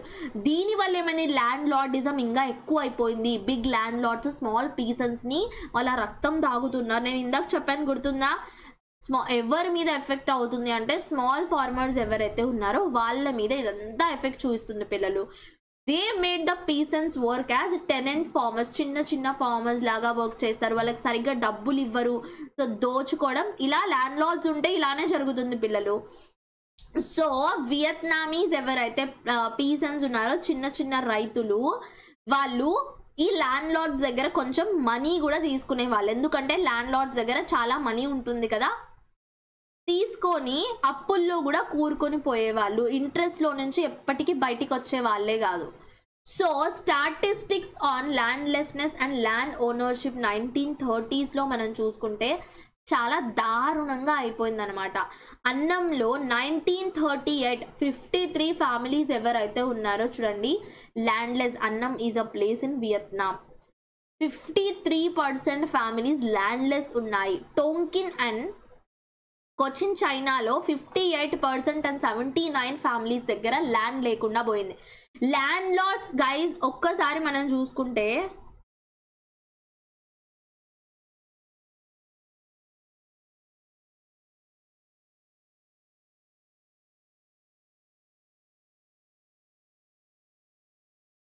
Kartikeya maths class mostly six పిఎంకి ఉంటుంది every day and Haripriya ma'am will be taking that third class ఓకేనా? దీనివల్ల ఏమైంది? చాలా ఫ్యామిలీస్ దగ్గర ల్యాండ్ లేదు అండ్ వాళ్ళు కడుపు మార్చుకొని ఉండేవాళ్ళు. దీనివల్ల చూడండి peasants who rented the land of landlords వాళ్ళకి రెంట్ కూడా పే చేయాలి. టూ ఎలాంటి guys this point is also important peasants land లాట్స్కి టూ వేస్లో రెంట్ పే చేసేవాళ్ళు. ఎలాగ? ఫస్ట్ ఏంటి? వాళ్ళు ఏదైతే ప్రొడ్యూస్ చేస్తారో వాళ్ళు ఒక టెన్ కేజెస్ పది బస్తాల బియ్యం ప్రొడ్యూస్ చేస్తే ఆ బస్తాలో నుంచి వాళ్ళు చెప్పినంత ల్యాండ్ లాట్స్ ఎంత చెప్తే అంత ఇవ్వాలి. దీనికితో పాటు వీళ్ళు డిఫరెంట్ డిఫరెంట్ టాక్సెస్ కూడా ల్యాండ్ లాట్స్కి పే చేయాలి. దీనివల్ల ఏమైంది? పీసన్స్కి to borrow rice and money from the landlords and pushed them into further డెప్ట్ bondage దీనివల్ల ఏమైపోయింది? పీసన్స్ వాళ్ళకి ఇప్పుడు imagine ten kgs of rice అనేది ప్రొడ్యూస్ అయింది. ఈ టెన్ కేజీస్ ఆఫ్ రైస్లో ప్రొడ్యూస్ అయిన రైస్లో ల్యాండ్ లాట్స్కి వీళ్ళు ఏమి ఇవ్వాలి? ఫైవ్ కేజీస్ ఆఫ్ రైస్ ఇవ్వాలి. ఓకే? ఫైవ్ కేజీస్ ఆఫ్ రైస్తో పాటు టాక్సెస్ కూడా ఇవ్వాలి. సో అప్పుడు వీళ్ళు ఏం చేస్తారు? ఈ రైస్ ఎలాగో ఇస్తున్నారు కదా ల్యాండ్ లాడ్స్ వీళ్ళు ల్యాండ్ లాట్స్కి రైస్ ఇచ్చేశారు. సో డబ్బులు కూడా ఇవ్వాలి మనీ కూడా ఇవ్వాలి. మనీ ఎప్పుడు వస్తుంది? మిగతా రైస్ ఈ మిగతా రైస్ సేల్ చేస్తే మనీ వస్తుంది. మిగతా రైస్ మొత్తం వాళ్ళు సేల్ చేసేస్తే అమ్మేస్తే వాళ్ళకి తినడానికి ఏముంటుంది? సో అందుకు మళ్ళీ ఏం చేస్తారంటే ల్యాండ్ లార్డ్స్ దగ్గరికి వెళ్ళి మళ్ళీ ఒకటి రైస్ అయినా ఒకటి ఫుడ్ గ్రెయిన్స్ అయినా అడుగుతారు మనీ అయినా అడుగుతారు. సో వీళ్ళు ఇచ్చిన రైసే ల్యాండ్ లార్డ్స్ అవే తిరిగి పీజన్స్కి అయినా ఇస్తారు. ఈ మనీ ఈ వీళ్ళైతే ఏదైతే రైస్ ఇస్తున్నారు కదా ఆ రైస్ని అమ్మేసి వచ్చిన మనీ అయినా ల్యాండ్ లార్డ్స్ వీళ్ళకి ఇస్తారు దాని వల్ల ఏమవుతుందంటే ఇంకా ఇంకా ఈ డెప్ట్లో కూరుకొని పోయారు. సో ఇప్పుడు స్టార్ట్ అయింది ఒక civilising mission. Ma'am I have exams from Tuesday and I have two chapters pending Shivani you just have to read important important ఏవేవైతే ఉన్నాయో అవన్నీ చదివే that set can't do anything apart from that.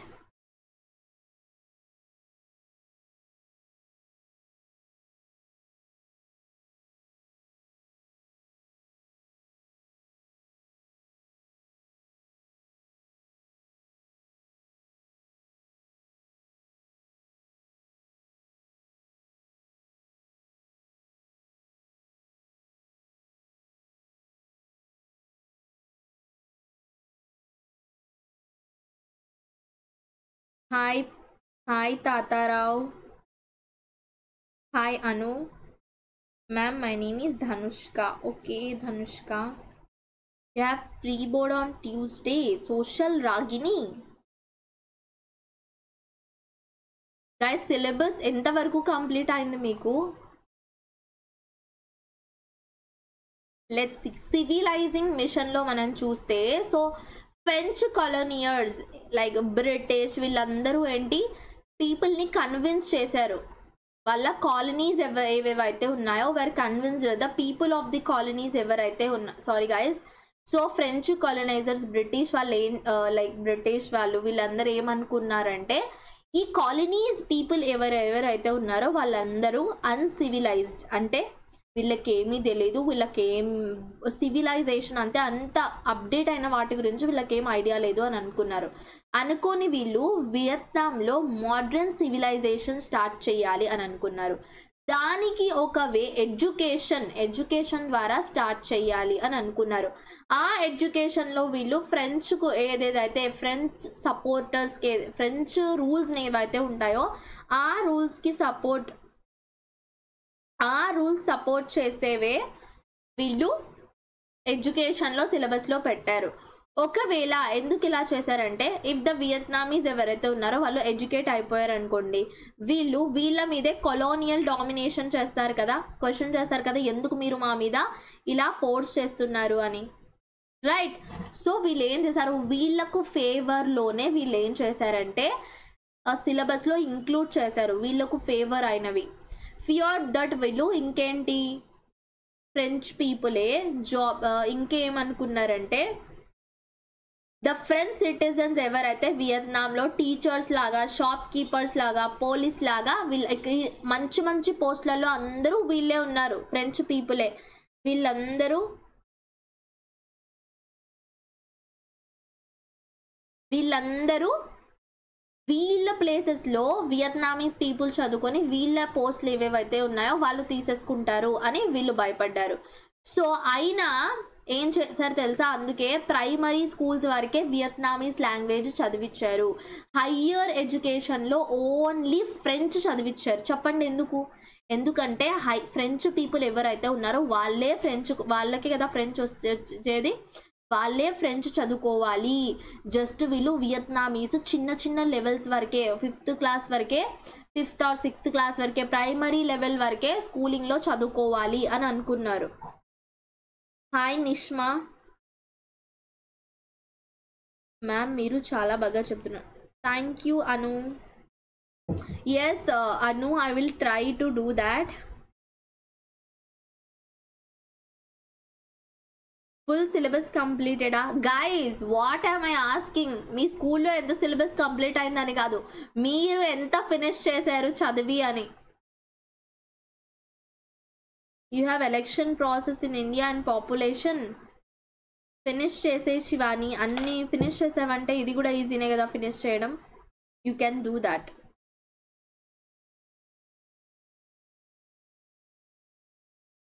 guys కొంతమందికి Vietnamese topic లేదు.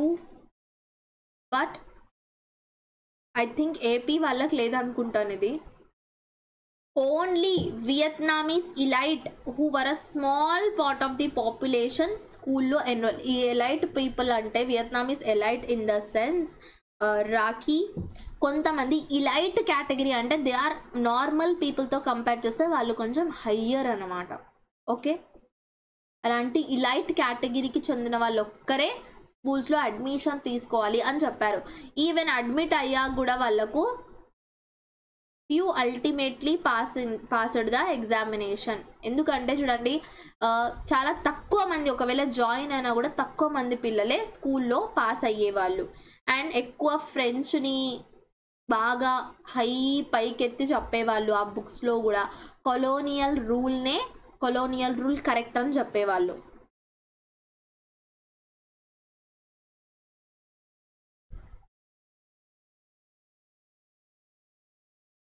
AP వాళ్ళకు కూడా ఉందా Sameena?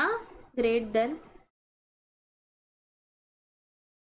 thanks for your motivation ma'am welcome Shivani ఉందా game changer great then so ఇప్పుడు వియత్నామీస్ ఎలా నేషనలిజం వరకు వెళ్ళారు అంటే స్కూల్స్లో టీచర్స్ ఏం చేశారు? బ్లైండ్గా బుక్స్లో ఏదిస్తే అది నేర్పించలేదు. వాళ్ళు రియాలిటీ ఏదో అది నేర్పించడం స్టార్ట్ చేశారు. వియత్నామీస్ టీచర్స్ ఎవరైతే ఉన్నారో వీళ్ళు స్లోగా ఇంక్రీజ్ అయిపోయారు. ఇంక్రీజ్డ్ ఇన్ ద లోవర్ క్లాసెస్లో చాలా ఎక్కువ అయిపోయారు. సో దీనివల్ల ఏమైంది? It became difficult to control so actually ఏదైతే బుక్స్లో ఏది బ్లైండ్గా ఇస్తే అది టీచ్ చేయలేదు. ఏదైతే కరెక్ట్ ఉందో అవే టీచ్ చేస్తున్నారు. The colonial government also try to prevent Vietnamese people ఈ వైట్ కాలర్ జాబ్స్ ఉంటాయి కదా. White collar jobs in the sense educated పీపుల్కి ఏదైతే హై పోస్టులు ఇస్తారు కదా పిల్లలు వాటిని మనము వైట్ కాలర్ జాబ్ అంటాము. ఈ వైట్ కాలర్ జాబ్స్ని జాబ్స్లో క్వాలిఫై అవ్వకుండా వియత్నామీస్ పీపుల్ని ఆపింది. స్టూడెంట్స్ దీనికి అగైనెస్ట్గా స్టూడెంట్స్ ఫైట్ చేయడం స్టార్ట్ చేశారు. సో చూడండి ఇక్కడ. నైన్టీన్ ట్వంటీస్ స్టూడెంట్స్ ఏంటి? వేరియస్ పొలిటికల్ పార్టీస్ లాగా ఫామ్ అయ్యారు. ఎగ్జాంపుల్ పార్టీ ఎగ్జాంపుల్స్ ఇక్కడ ఉన్నాయి చూడండి పిల్ల party of young Annam young Annam party so ఇలాంటి పార్టీస్గా అన్నమీ student they started publishing journals కూడా పబ్లిష్ చేయడం స్టార్ట్ చేసేసారు. Ma'am, which class? It is 10th class, Sanjay. Curriculum in the sense Dhanu syllabus.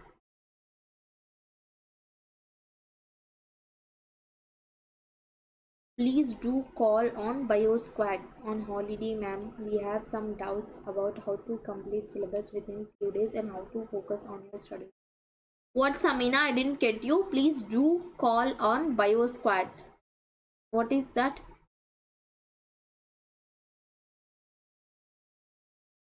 Early nineteen twentieth century స్టార్టింగ్లో Vietnamese students జపాన్కి వెళ్ళి అక్కడ modern education అనేది చదువుకొని వచ్చారు.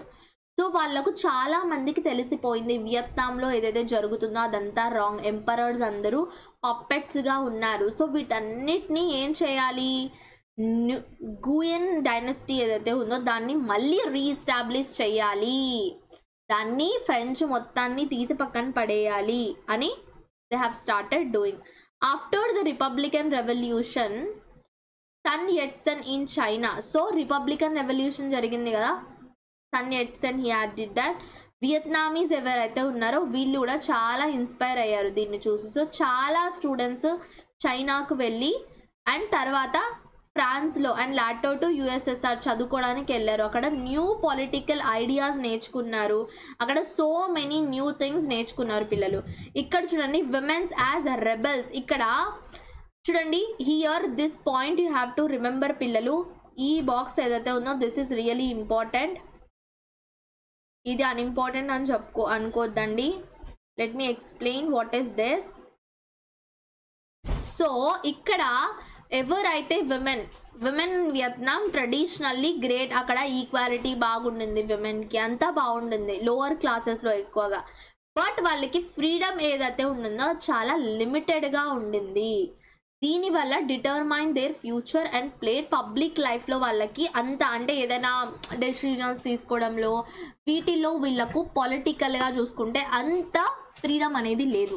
నేషనలిస్ట్ మూమెంట్స్ ఏవైతే ఉన్నాయో గ్రో అవుతూ అవుతూ ఉన్నాయి కదా స్టేటస్ ఆఫ్ ఉమెన్ కూడా ఏంటి అనేది ఒక క్వశ్చన్ మార్క్ లా తయారైంది.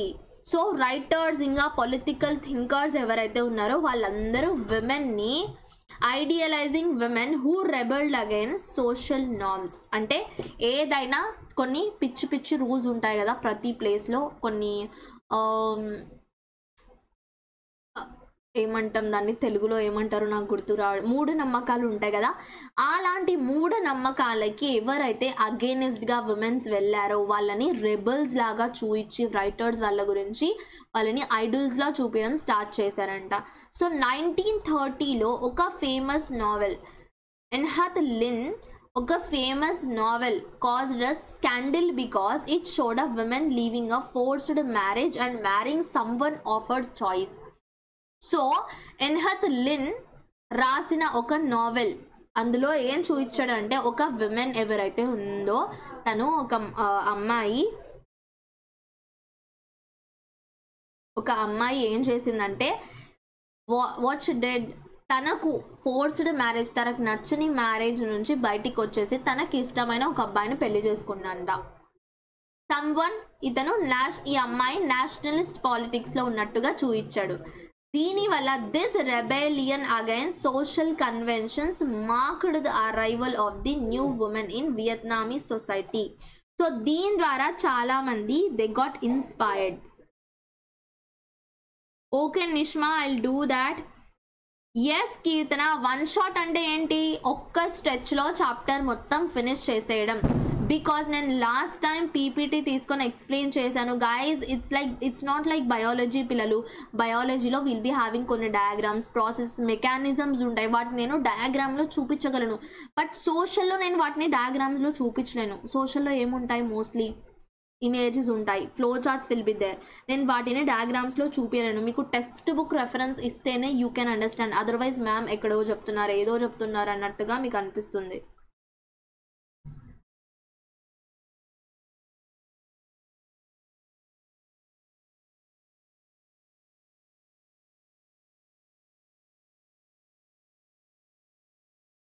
తర్వాత నైన్టీన్ థర్టీన్లో ఏమైంది? గ్రేట్ డిప్రెషన్ స్టార్ట్ అయింది. దీనివల్ల వియత్నాం మీద చాలా డీప్ ఇంపాక్ట్ అనేది పడింది. రబ్బర్ అండ్ రైస్ ప్రైసెస్ పడిపోయాయి. దీనివల్ల రూరల్లీగా చూసుకుంటే డెప్స్ స్టార్ట్ అయిపోయాయి. అన్ఎంప్లాయ్మెంట్ స్టార్ట్ అయింది. అండ్ అలాంటి ప్రాబ్లమ్స్ అన్నీ స్టార్ట్ అయిపోయాయి. నైన్టీన్ థర్టీలో హో చీ మెన్ ఇతను ఫ్రాన్స్లో ఉన్నాడు. ఫ్రాన్స్లో అండ్ యుఎస్ఎస్ఆర్లో ఉన్నాడు. ఇతను ఒక వియత్నామీస్ కమ్యూనిస్ట్ పార్టీ అనేది స్టార్ట్ చేశాడు. ఓకే? తర్వాత దాన్ని ఇండో చైనీస్ కమ్యూనిస్ట్ పార్టీగా పేరు వచ్చింది ఇతను ఈ మిలి యూరోప్లో ఉన్న కమ్యూనిస్ట్ పార్టీలను చూసి చాలా బాగా ఇన్స్పైర్ అయిపోయాడు. తర్వాత Japan wanted to increase south east ఏషియాలో Japan ఏమనుకుంది? తన పవర్ ఏదైతే ఉందో బాగా. ఇంకా ఇంకా కొన్ని కంట్రీస్ని ఆక్యుపై చేసుకోవాలి అని అనుకుంది.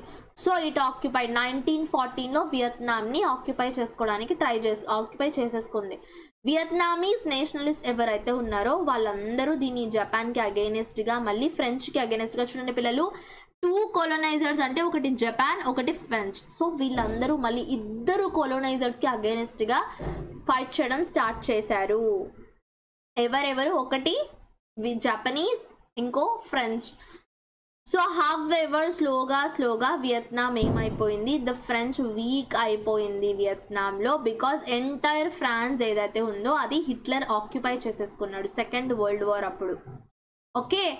లీగ్ ఏదైతే ఉందో independence the league for the independence of Vietnam ఏదైతే ఉందో so also known as the Viet Minh వీళ్ళందరూ ఏం చెప్పారు? ఏం చేశారు? జపాన్కి అగేనెస్ట్గా ఫైట్ చేశారు. అండ్ తర్వాత హ్యానోయ్ సెప్టెంబర్ నైన్టీన్ ఫార్టీ ఫైవ్లో what did they do?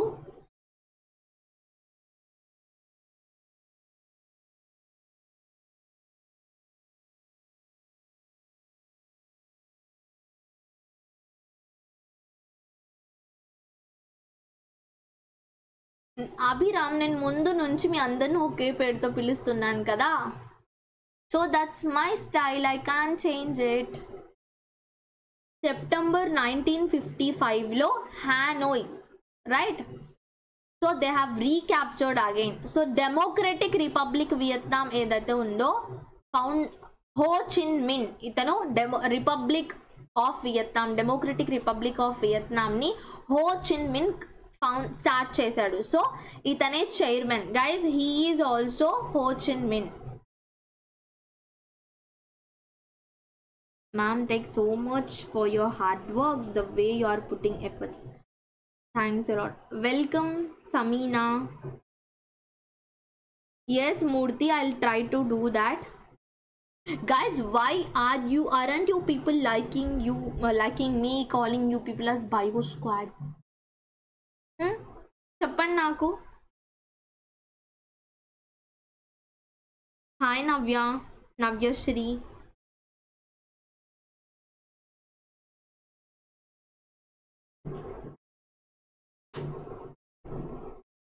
so they also cancel అన్ని. చూడండి ఇక్కడ ఏం చేశారు? ఇతను చైర్మన్ అయ్యాక when Viet Minh came to power August nineteen forty ఫైవ్లో వీళ్ళు ఇమీడియట్గా ఒకటి ఇష్యూ చేశారు ఒక సర్క్యులర్ అందులో ట్వంటీ ఫైవ్ పర్సెంట్ రెంట్స్ ఏవైతే ఉన్నాయో ల్యాండ్ రెంట్స్ వాటిని రిడ్యూస్ చేసేసారు పిల్లలు.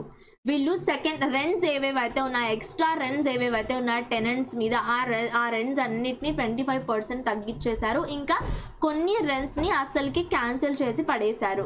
They also adapted redistribution land redistribution ఏదైతే ఉందో దాన్ని కూడా రీడిస్ట్రిబ్యూట్ చేయడం స్టార్ట్ చేసేసారు న్యూ రిపబ్లిక్ వియత్నాంలో న్యూ రిపబ్లిక్ ఎలా వచ్చింది? అనేది వి విల్ సీ ఇప్పుడు. అదే కదా. Guys you all are my bio squad guys bio squad అంటే ఏంటో తెలుసా? స్క్వాడ్ అంటే ఏంటో తెలుసా అసలు మీకు?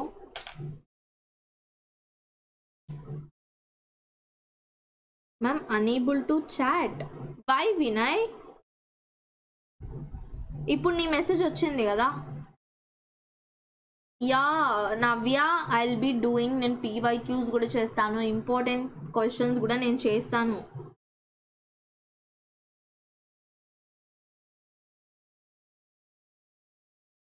ఓకే న్యూ రిపబ్లిక్ వియత్నాంలో ఎలా? అంత ఈజీగా రాలేదు. చాలా చాలా ప్రాబ్లమ్స్ ఫేస్ చేశాక వచ్చింది. సో ఫ్రాన్స్ మళ్ళీ జపాన్ని ఓడించాక మళ్ళీ ఫ్రాన్స్ ఏం చేసింది? కంట్రోల్ చేసుకోవడానికి వియత్నాంని కంట్రోల్ చేసుకోవడానికి ట్రై చేసింది. ఈ బావో దాయ్ అనే ఒక ఎంపరర్ని పప్పెట్ లాగా చేసి. బట్ చూడండి వియత్నాం ఏంటి? వియత్నాంలో ఎవరైతే వియత్నామీ వియత్ మిన్ ఎవరైతే ఉన్నాడో ఈయన వీళ్ళని హిల్స్కి వెళ్ళిపోండి మీరందరూ అడవికి వెళ్ళిపోండి అని చెప్పడం స్టార్ట్ చేసేసారు. సో ఎయిట్ ఇయర్స్ ఫైట్ చేశాక ఫ్రెంచ్ పీపుల్ ఎవరైతే ఉన్నారో నైన్టీన్ ఫిఫ్టీ ఫోర్లో డిఎన్ బేన్ పూని డిఫీట్ చేసేశారు. And over sixteen thousand French soldiers మళ్ళీ ప్రిజనర్స్లో were taken as prisoners nineteen fifty ఫోర్లో ఫ్రెంచ్ని డిఫీట్ చేసేశారు. And Dien Bien Phu sixteen thousand French సోల్జర్స్ని వీళ్ళు ఏం చేశారు? Vietnamese people what it they do ప్రిజనర్స్గా తీసేసుకున్నారు. Navya soon I will be doing once I finish this సోషల్లో మనకు one shots ఉన్నాయి కదా. I want to finish them and మధ్య మధ్యలో నేను ఇవి కూడా చేస్తుంటాను. ఓకేనా? Okay Nishma.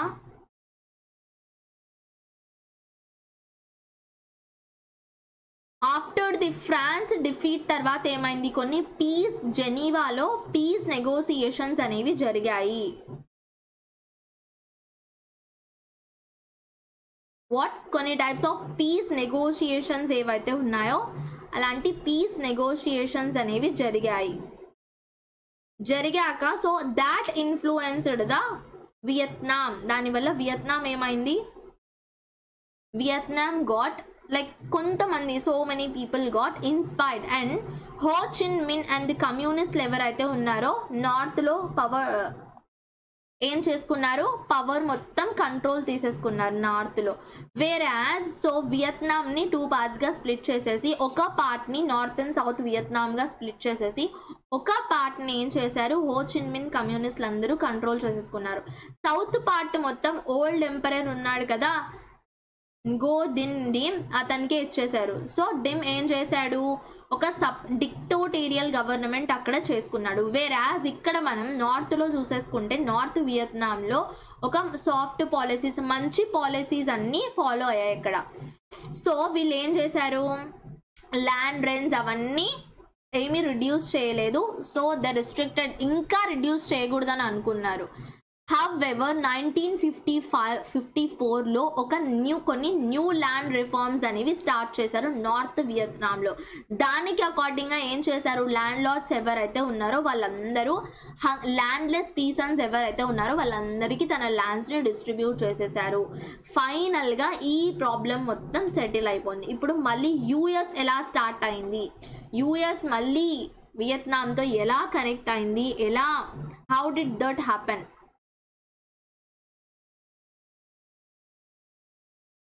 ma'am explain the meaning of squad guys suicide squad ఎవరైనా మీరు చూసారా?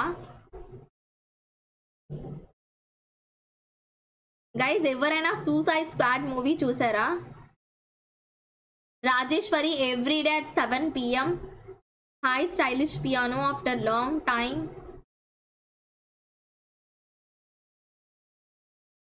yes Karthikeya daily classes ఉంటాయి. అండ్ గైజ్ ఎవరైతే కొత్త పిల్లలు ఉన్నారో సబ్స్క్రైబ్ చేసుకొని వాళ్ళు సబ్స్క్రైబ్ చేసేసుకోండి పిల్లలు. అండ్ ఫాస్ట్గా లైక్ కూడా క్లిక్ చేసేయండి guys it is only twenty nine likes are there guys squad in the sense ఒక గ్యాంగ్ అని.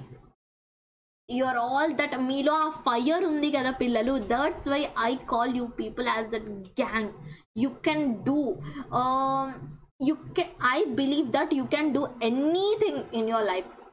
You can that మనకు ఒక్కోసారి ఏం కావాలంటే వీ వాంట్ దట్ కొన్ని గోల్స్ అచీవ్ చేసుకోవడానికి we want that fire in us and అలాంటి ఫైర్ ఒక గ్యాంగ్లోనే ఉంటుందని నాకు తెలుసు. You are that bio squad of mind that's why I call you people bio squad you don't like to see movies great so ఇప్పుడు US వాళ్ళలోకి ఎలా వచ్చింది అంటే హోచిన్ మిన్ గవర్నమెంట్ ఉంది కదా నార్త్లో హో చిన్ మిన్ గవర్నమెంట్ ఏం చేసిందంటే Abhiram so landless peasants landlords దగ్గర నుంచి తీసేసుకొని ల్యాండ్లెస్ పీసన్స్కి దే హ్యావ్ గివెన్ పిల్లలు. Yeah homies I'll give I'll give that important questions నేను ఇస్తాను I'll be doing that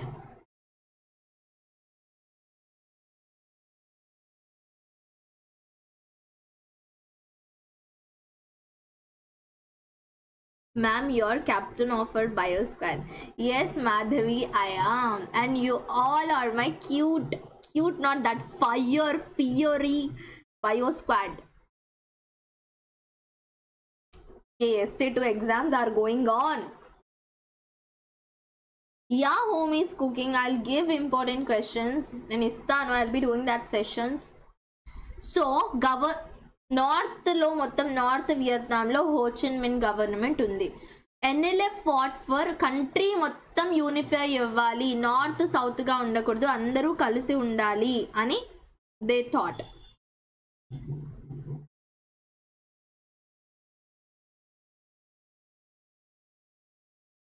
చూడండి వీళ్ళు ఏజెంట్ ఆరెంజ్ అనే ఒక డెడ్లీ పాయిజన్ని దే హ్యావ్ స్ప్రేడ్ వియత్నాం ఫారెస్ట్లో వీళ్ళు స్ప్రే చేశారు. ఎందుకంటే వియత్నాం లో కొంతమంది సో దిస్ పీపుల్ ఉన్నారు కదా ఫైట్ చేసే వాళ్ళు వీళ్ళు ఫారెస్ట్లలో దాక్కున్నారేమో అనేది ఆ అనేసి యుఎస్ ఈ ఆరెంజ్ ఏజెంట్ ఆరెంజ్ని స్ప్రే చేసింది. దాని వల్ల చెట్లన్నీ చనిపోయాయి. చనిపోవడం వల్ల సో ఎవరైతే దాక్కొని ఉన్నారో వాళ్ళు ఈజీగా కనిపి కనిపెట్టేయొచ్చు అని ma'am what is my name stylish piano your name is Sai I guess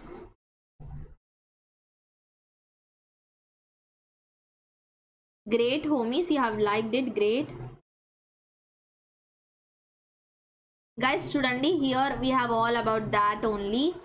So యుఎస్తో ఫైట్ చేయడం వియత్నామీస్కి ఒక ఇంకా పెద్ద ప్రాబ్లం లాగా అయిపోయింది. థౌజండ్స్ ఆఫ్ యుఎస్ ట్రూప్స్ ఈ వియత్నాం కి రావడం వాళ్ళ దగ్గర హెవీ హెవీ వెపన్స్ ఉన్నాయి ట్యాంక్స్ ఉన్నాయి. సో వాటితో వీళ్ళు ఫైట్ చేయడం కొంచెం ప్రాబ్లమాటిక్గా అనిపించింది. బట్ ఫైనల్లీ ఏమైంది పిల్లలు? చూడండి ఒక డెడ్లీ బామ్ గాయస్ కొన్ని chemical weapons like napalm guys remember this one mark question రాగా రావచ్చు. This can be one mark question రాగా రావచ్చు గైస్ గుర్తుపెట్టుకోండి. You want you you want to meet meet me Karthikeya? Yeah guys ever ever అయితే మంచి marks తెచ్చుకుంటారో టెన్త్లో we'll to a zoom meeting నేను మీ అందరితో ఒక జూమ్ మీటింగ్ చేయాలని అనుకుంటున్నాను. There we all can meet face to face agent orange and phosphorus bombs లాంటి బాంబ్స్ అందరూ ఇలాంటి డిఫరెంట్ డిఫరెంట్ బాంబ్స్ యూఎస్ అనేది వాళ్ళ మీద అటాక్ చేసింది ఇలాంటి బాంబ్స్తో సో ఫైనల్లీ ఈ వార్ ఏదైతే ఉందో was felt with in the US as well guys ఎందుకంటే చూడండి ఈ పూర్ పీజన్స్ ఎవరైతే ఉన్నారో వాళ్ళ నుంచి ల్యాక్స్ ఆఫ్ పూర్ పీజన్స్ ఉన్నారు. వాళ్ళందరికీ అప్పుడే ల్యాండ్స్ వచ్చింది. చాలా ఇయర్స్ తర్వాత వాళ్ళు మళ్ళీ ఇలాంటి ఒక రూల్ని వాళ్ళ నెత్తి మీద ఇలాంటి ఒక ప్రాబ్లమ్స్ని ఫేస్ చేయాలని వాళ్ళు ఎందుకు అనుకుంటారు? ఇప్పుడే ఇండిపెండెన్స్ వచ్చింది. మళ్ళీ అప్పుడే యుఎస్ వచ్చేసి ఆక్యుపై చేయడానికి వాళ్ళు రెడీగా లేరు. వియత్నామీస్ సో వీళ్ళు చాలా గట్టిగా యుఎస్తో ఫైట్ చేశారు పిల్లలు. ఈ వార్ ఎఫెక్ట్ యుఎస్లో కూడా వచ్చింది. ఎలాగంటే గవర్నమెంట్ని క్రిటి క్రిటిసైజ్ చేశారు. యుఎస్ సిటిజన్స్ ఎవరైతే ఉన్నారో వాళ్ళే గవర్నమెంట్స్కి చెప్తున్నారు. కి మీరు ఎందుకు వాళ్ళ మీద ఓన్లీ బికాజ్ ఎందుకంటే గవర్నమెంట్ యుఎస్ గవర్నమెంట్ ఏం చేసిందంటే యుఎస్ నీడ్స్ ఆర్మీ పీపుల్ కదా వార్ ఫైట్ చేయడానికి యుఎస్ ఏం చేసిందంటే వాళ్ళలో యంగ్ పీపుల్ ఎవరైతే ఉన్నారో యుఎస్లో యంగ్ పీపుల్ ఎవరైతే ఉన్నారో వాళ్ళ బ్రెయిన్లో కేసేసింది వాళ్ళ బ్రెయిన్లో హేట్రెడ్ స్ప్రెడ్ చేసింది యాంగర్ స్ప్రెడ్ చేసింది. Okay it has spread that anger and hatred అది స్ప్రెడ్ చేయడం వల్ల వాట్ హ్యాపెండ్ సో యూఎస్లో ఉన్న ఆ యంగ్ పీపుల్ వాళ్ళ పేరెంట్స్ ఉంటారు కదా వాళ్ళు ఏం చెప్పారంటే ఇన్ని వార్స్ ఆల్రెడీ వరల్డ్ వార్ ద్వారా నాశనం అయిపోయాము. మళ్ళీ ఎందుకు ఇలాంటివి మా పిల్లల బ్రెయిన్లో క్రియేట్ చేస్తున్నారు మీరు? మా పిల్లల్ని వదిలేయండి అని చాలామంది వాళ్ళ పిల్లల్ని ఆర్మీలోకి రాకుండా కూడా వదిలేశారు అలాగే. రావద్దు అని. సో చాలా పీపుల్ యూఎస్ని క్వశ్చన్ చేశారు. గవర్నమెంట్ పాలసీని క్వశ్చన్ చేశారు. దీనివల్ల ఏమైంది? ఫైనల్గా వార్ అనేది ఎండ్ అయిపోయింది. ఒక peace settlement nineteen seventy four జనవరిలో ప్యారిస్లో ఫైనల్గా ఒక సెటిల్మెంట్ పీస్ సెటిల్మెంట్ అనేది చేసేసారు. దీనివల్ల Nigeria and sorry Vietnam and NLF Vietnam NLFA కదా? వియత్నాం అండ్ ఏదైతే యుఎస్కి మధ్య వార్ జరిగిందో అది ఫైనల్లీ సార్ట్ అవుట్ అయిపోయింది. ఫైనల్గా తర్వాత ఏం చేశారంటే ఎన్ఎల్ఎఫ్ ప్రెసిడెన్షియల్ ప్లేస్ సాగూన్ని సాగూన్లోని ప్రెసిడెన్షియల్ ప్లేస్ని ఆక్యుపై చేసేసుకున్నారు. అండ్ ఫైనల్లీ వియత్నాం వియత్నాం ఏదైతే వియత్నాం మొత్తాన్ని యూనిఫై చేసేసారు. Okay? What is meant by phosphorus bombs? Rakhi it's a kind of bomb. ఓకేనా? ఫాస్ఫరస్తో చేసిన బాంబ్ ఫాస్ఫరస్ బాంబ్ అంటే. ఎలాగైతే మనకి agent orange human killing bombs they are ఉందో సేమ్ అలాగే. Yes I'll be starting new chapter tomorrow however I think only మనకు we have only this Nigeria పిల్లలు will be finishing I think ఇది ఒక్కటే ఉంది. Yes guys we can finish it మనకు Nigeria ఒక్కటే ఉంది. నేను I think it will take nearly three hours అని అనుకున్నాను. టూ అవర్స్ కంటే ఎక్కువ అవుతుందని అనుకున్నాను. But we're done. Only Nigeria ఒక్కటే ఉంది. We can finish it quickly. మనం ఫాస్ట్గా ఫినిష్ చేసుకోవచ్చు నైజీరియాని. Guys I want to tell you one thing before నేను నైజీరియా స్టార్ట్ చేసే ముందు ఒక్క five minutes break I want to give you people just ఒక్క five minutes let's come back at seven forty seven thirty seven కదా ఇప్పుడు. Seven ఫార్టీకి వచ్చేద్దాం అందరం. Just if you want to say anything if you want to speak with me anything you can tell me here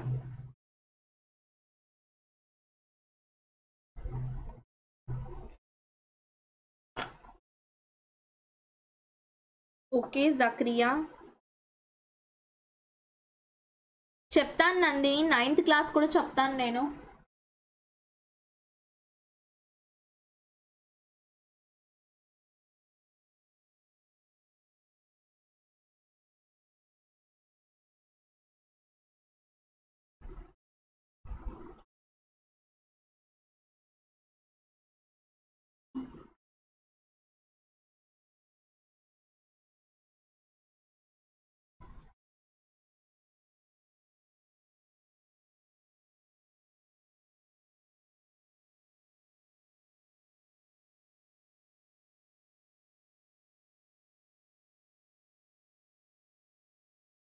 Bunny స్పీడ్గా చెప్తే మీ బుర్రల్లోకి ఎక్కాలి కదా. అలానే బయాలజీ వన్ షాట్స్ కొంచెం స్పీడ్గా చెప్తే మ్యామ్ అర్థం అవ్వట్లేదు. మ్యామ్ కొంచెం స్లోగా చెప్పండి అని చెప్తారు. మ్యామ్ మీరు గ్లోబలైజేషన్ బాగా చెప్పారు. Thank you Nagoor.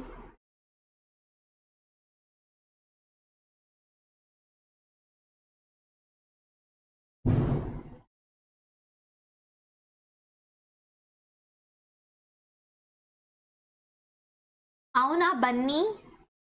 Then Nigeria okay so Nigeria మొత్తంలో టెల్ మీ బనీ నైజీరియా మొత్తంలో అసలు ఏ త్రీ ఫేసెస్ లైక్ ఇక్కడ మనకు త్రీ ఇంపార్టెంట్ సబ్ హెడింగ్స్ ఉన్నాయి కదా నైజీరియాలో farming Nigeria unity colonizer so ఈ అన్నిట్లో నైజీరియా ఇంపార్టెంట్ ఫేసెస్ ఏంటి? నైజీరియా ఫేస్ అయినా ఫేసెస్ ఏంటి? ఫేస్ చేసిన ఫేసెస్ చెప్పు నాకు Bunny. Good evening Lokesh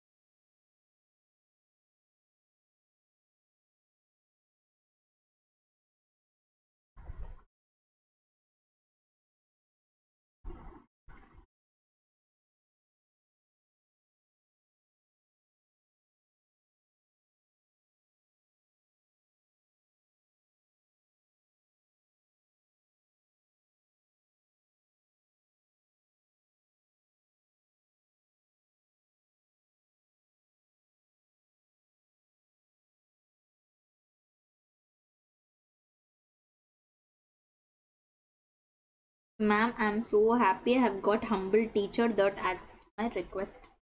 Welcome, Zakria. Bunny. One అవర్లో లెసన్ ఫినిష్ అయిపోయిందని చెప్పా కదా tell me what are the sub headings in this Nigeria అర్థం అయిపోయి ఉంటుంది కదా అలాగైతే ఎస్ పార్దు నేను ఎక్స్ప్లెయిన్ చేస్తాను నా క్లాస్ మీ మ్యాథ్స్ క్లాస్ కోసం వెయిటింగ్ ఆ Nandini tomorrow I think will be having maths class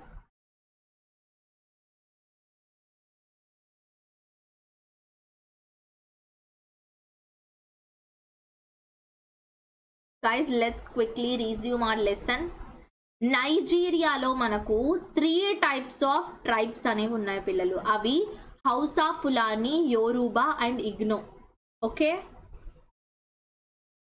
British colony colonialism నైజీరియాలో ఉంది. ఫస్ట్ మనము బ్రిటిష్ ఎలా ఒక కొలోనియజం అండ్ నేషన్ సెపరేట్గా అవ్వడానికి నైజీరియా ఏంటి అనేది మనం చూద్దాం. Yeah Nandini tomorrow maths class ఉంటుంది మన ఛానల్ మీద. If you didn't if you didn't subscribe subscribe చేసుకో ఓకే గైజ్ నేను కంటిన్యూగా చేయాలనుకుంటున్నాను lessons if I do social lessons okay Bhavya is that you okay so idea of nation states was new to countries like africa. Like so మన మిగతా world ఏంటి nation states ఈ idea అనేది ఆఫ్రికాకి ఆఫ్రికాకి చాలా చాలా కొత్త. అంటే డిఫరెంట్ డిఫరెంట్గా సెపరేట్ స్టేట్స్గా ఫామ్ అయిపోవడం. ఒక నేషన్లోనే సేమ్ సేమ్ నేషన్లోనే స్టేట్స్ డివైడ్ అయిపోవడం. This is new idea for Nigeria. నైజీరియాకి దీని గురించి తెలియదు. సో వెస్టర్న్ కాలోనైజర్స్ ఎవరైతే ఉన్నారో ఈ ఐడియాని వీళ్ళ బ్రెయిన్లోకి వచ్చింది. ఎందుకంటే సెర్టైన్ ఏరియాస్ని వీళ్ళు కంట్రోల్ చేసేసుకున్నారు. The country we know as Nigeria today was actually created by British. Different regions of Niger river so Nigeria మనం ఈరోజు నైజీరియా అనుకుంటున్నాం కదా అది ఎలా క్రియేట్ అయింది అని అంటే నైజర్ రివర్ దగ్గర కొన్ని ట్రైబ్స్ ఆఫ్ పీపుల్స్ ఉన్నాయి. వాళ్ళందరినీ ఒక దగ్గరికి చేర్చి బ్రిటిషర్స్ ఏం చేశారంటే చేసి వాళ్ళని నైజీరియా లాగా పేరిచ్చారు. So north in నైజీరియాలో guys I'm highlighting remember this north in నైజీరియాలో Hausa Fulani people ఉన్నారు. వీళ్ళు ముస్లిమ్స్. ముందు దేవర్ ప్రీడామినెంట్లీ ముస్లిమ్స్. ముందు ముస్లిమ్స్గా ఉన్నారు.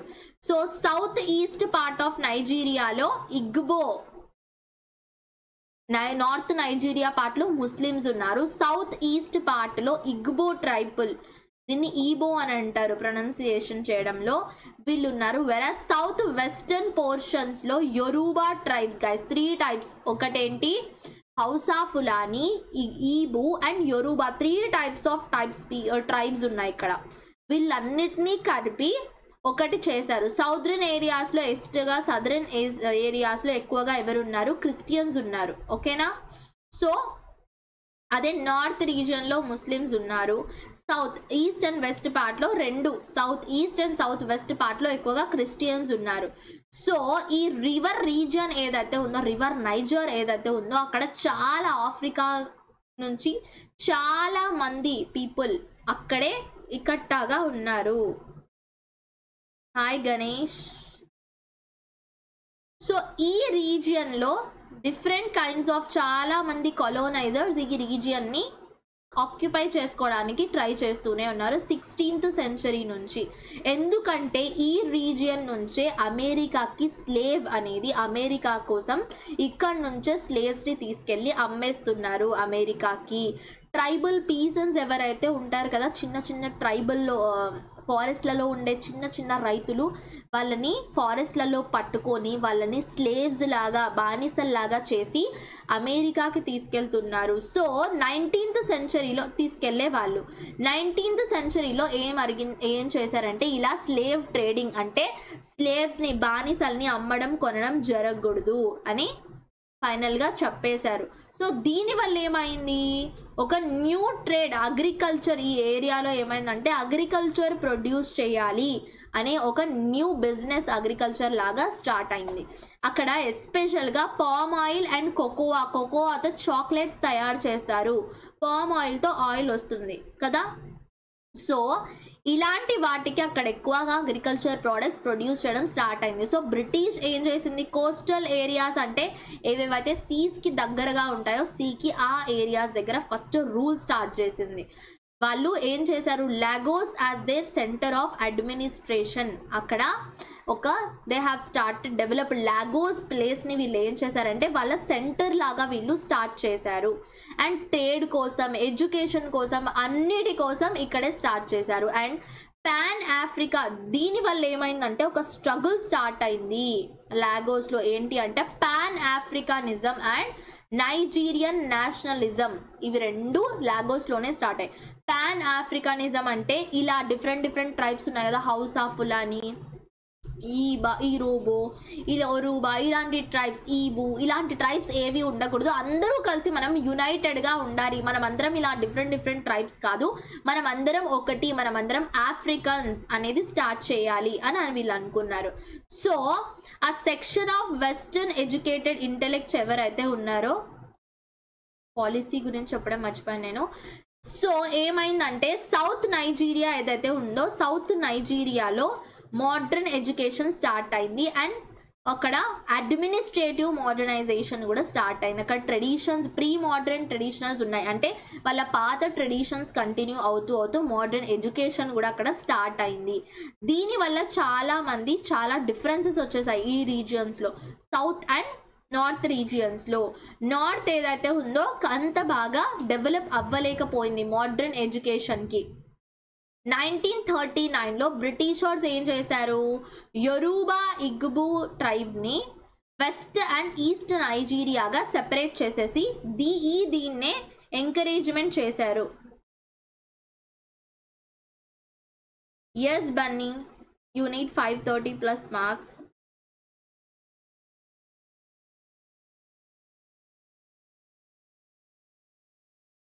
so they followed the policy. ఇక్కడ కూడా డివైడ్ అండ్ రూల్ పాలసీనే ఫాలో చేశారు పిల్లలు.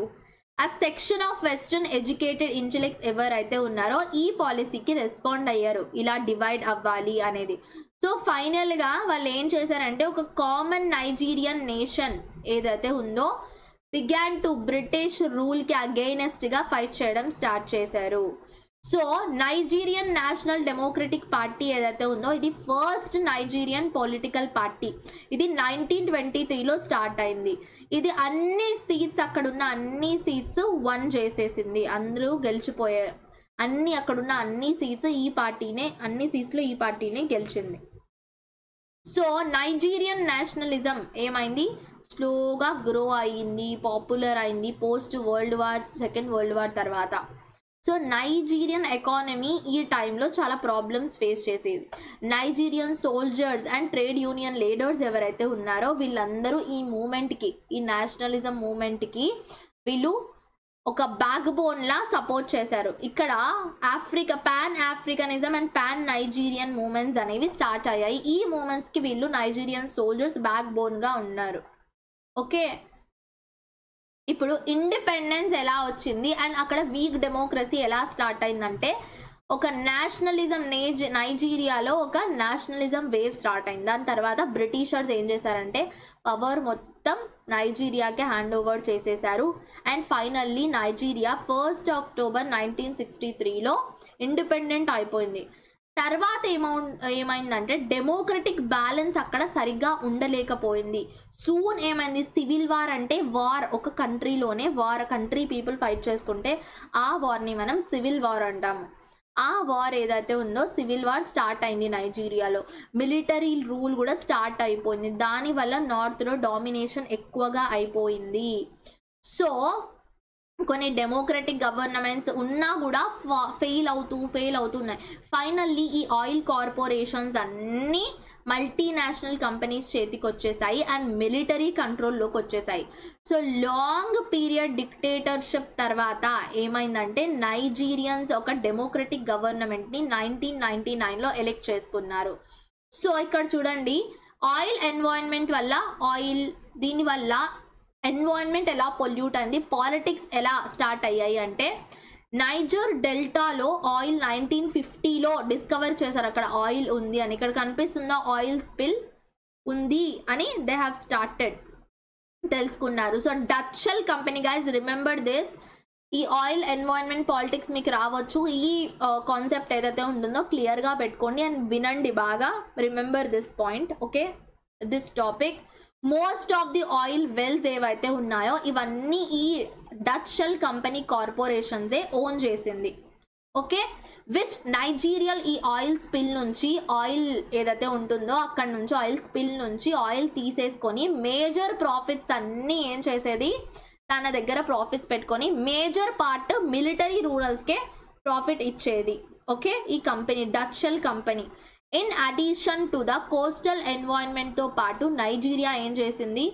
రెక్లెస్ ఆయిల్ ఎక్స్ట్రాక్షన్ చేసి చేసి ఫారిన్ కంపెనీస్ రావడం ఆయిల్ ఎక్స్ట్రాక్ట్ చేసుకోవడం ఆయిల్ తీసుకెళ్ళి పోవడం అలా అయ్యాయి అయ్యి ఎన్వైరన్మెంట్ అంతా స్పాయిల్ అయిపోయింది. మ్యాంగ్రూవ్ ఫారెస్ట్లు అన్నీ స్పాయిల్ అయిపోయాయి. ఎన్వైరన్మెంట్ మొత్తం డిస్ట్రాయ్ అయిపోయింది. Around five to ten percent నైజీరియో Nigerian mangrove ecosystem మొత్తం డిస్ట్రాయ్ అయిపోయింది పిల్లలు. ఓకేనా? సో ఫైనల్లీ తర్వాత ఏమైందంటే కంటామినేషన్ చాలా జరిగింది.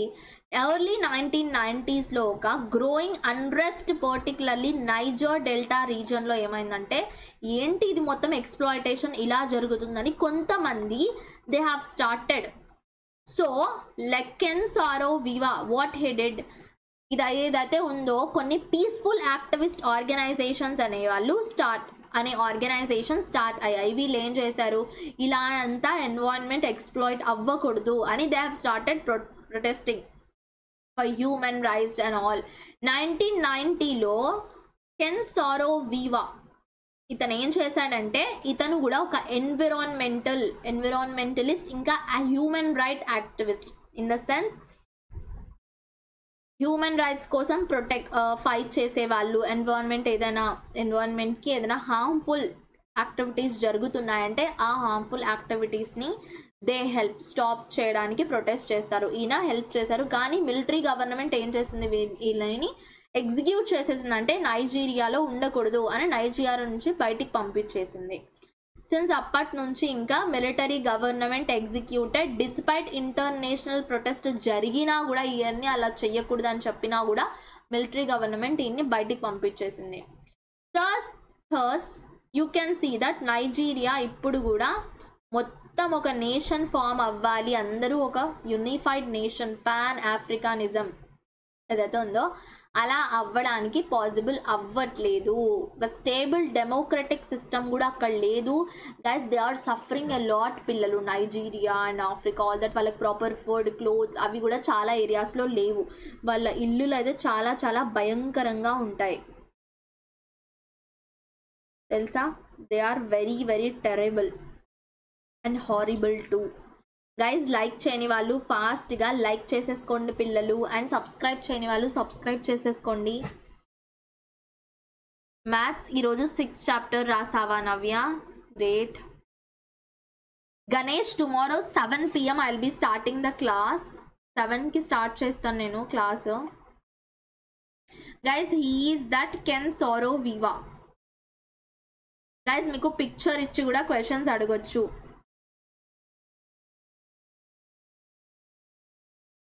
సాయి బన్నీ ఇంతకు ముందు నేను అలా పాయింట్ వైజ్గానే చెప్పాను. Some important points got missed and మీ పిల్లలు అగైన్ స్టార్టెడ్ ఆస్కింగ్ మీ మ్యామ్కి this points are not there this points are not there make another session make another session so it's not possible నేను టెక్స్ట్ బుక్ రెఫరెన్స్ తీసుకొని మీకు చెప్తేనే you people are able to understand చాలా మంది పిల్లలు again you people will say కి ma'am this points have miss do the session again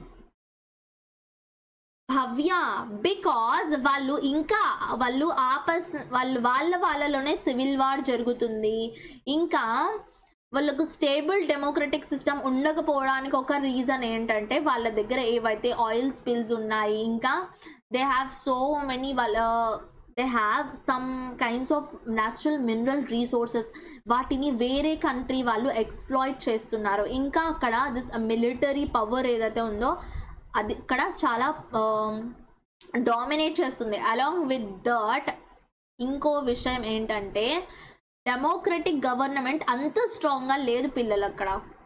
it's a poor country మీరు vlogs చూడొచ్చు if you want you go to YouTube and watch కొన్ని vlogs ఉన్నాయి. అక్కడ like people literally they are staying ఇల్లులు ఉన్నాయి have saw video so ఆ ఇప్పుడు మన నార్మల్ లొకాలిటీ ఎలా ఉంది? ఇలా ఇల్లులు ఉంటాయి కదా. సో అలా ఇల్లులు ఉన్నాయి ఆ ఇళ్ళల్లో మొత్తం వాటర్ వచ్చేసింది. అలాంటి ఇళ్ళకి ఇల్లుకి వాళ్ళు రెంట్ పే చేస్తున్నారు. అలాంటి హౌసెస్కి వాళ్ళు రెంట్ పే చేసి ఉంటున్నారు పిల్లలు. Hi Pavan Syed Ammu I'll see what chapter I'll be after long time కదా Ammu.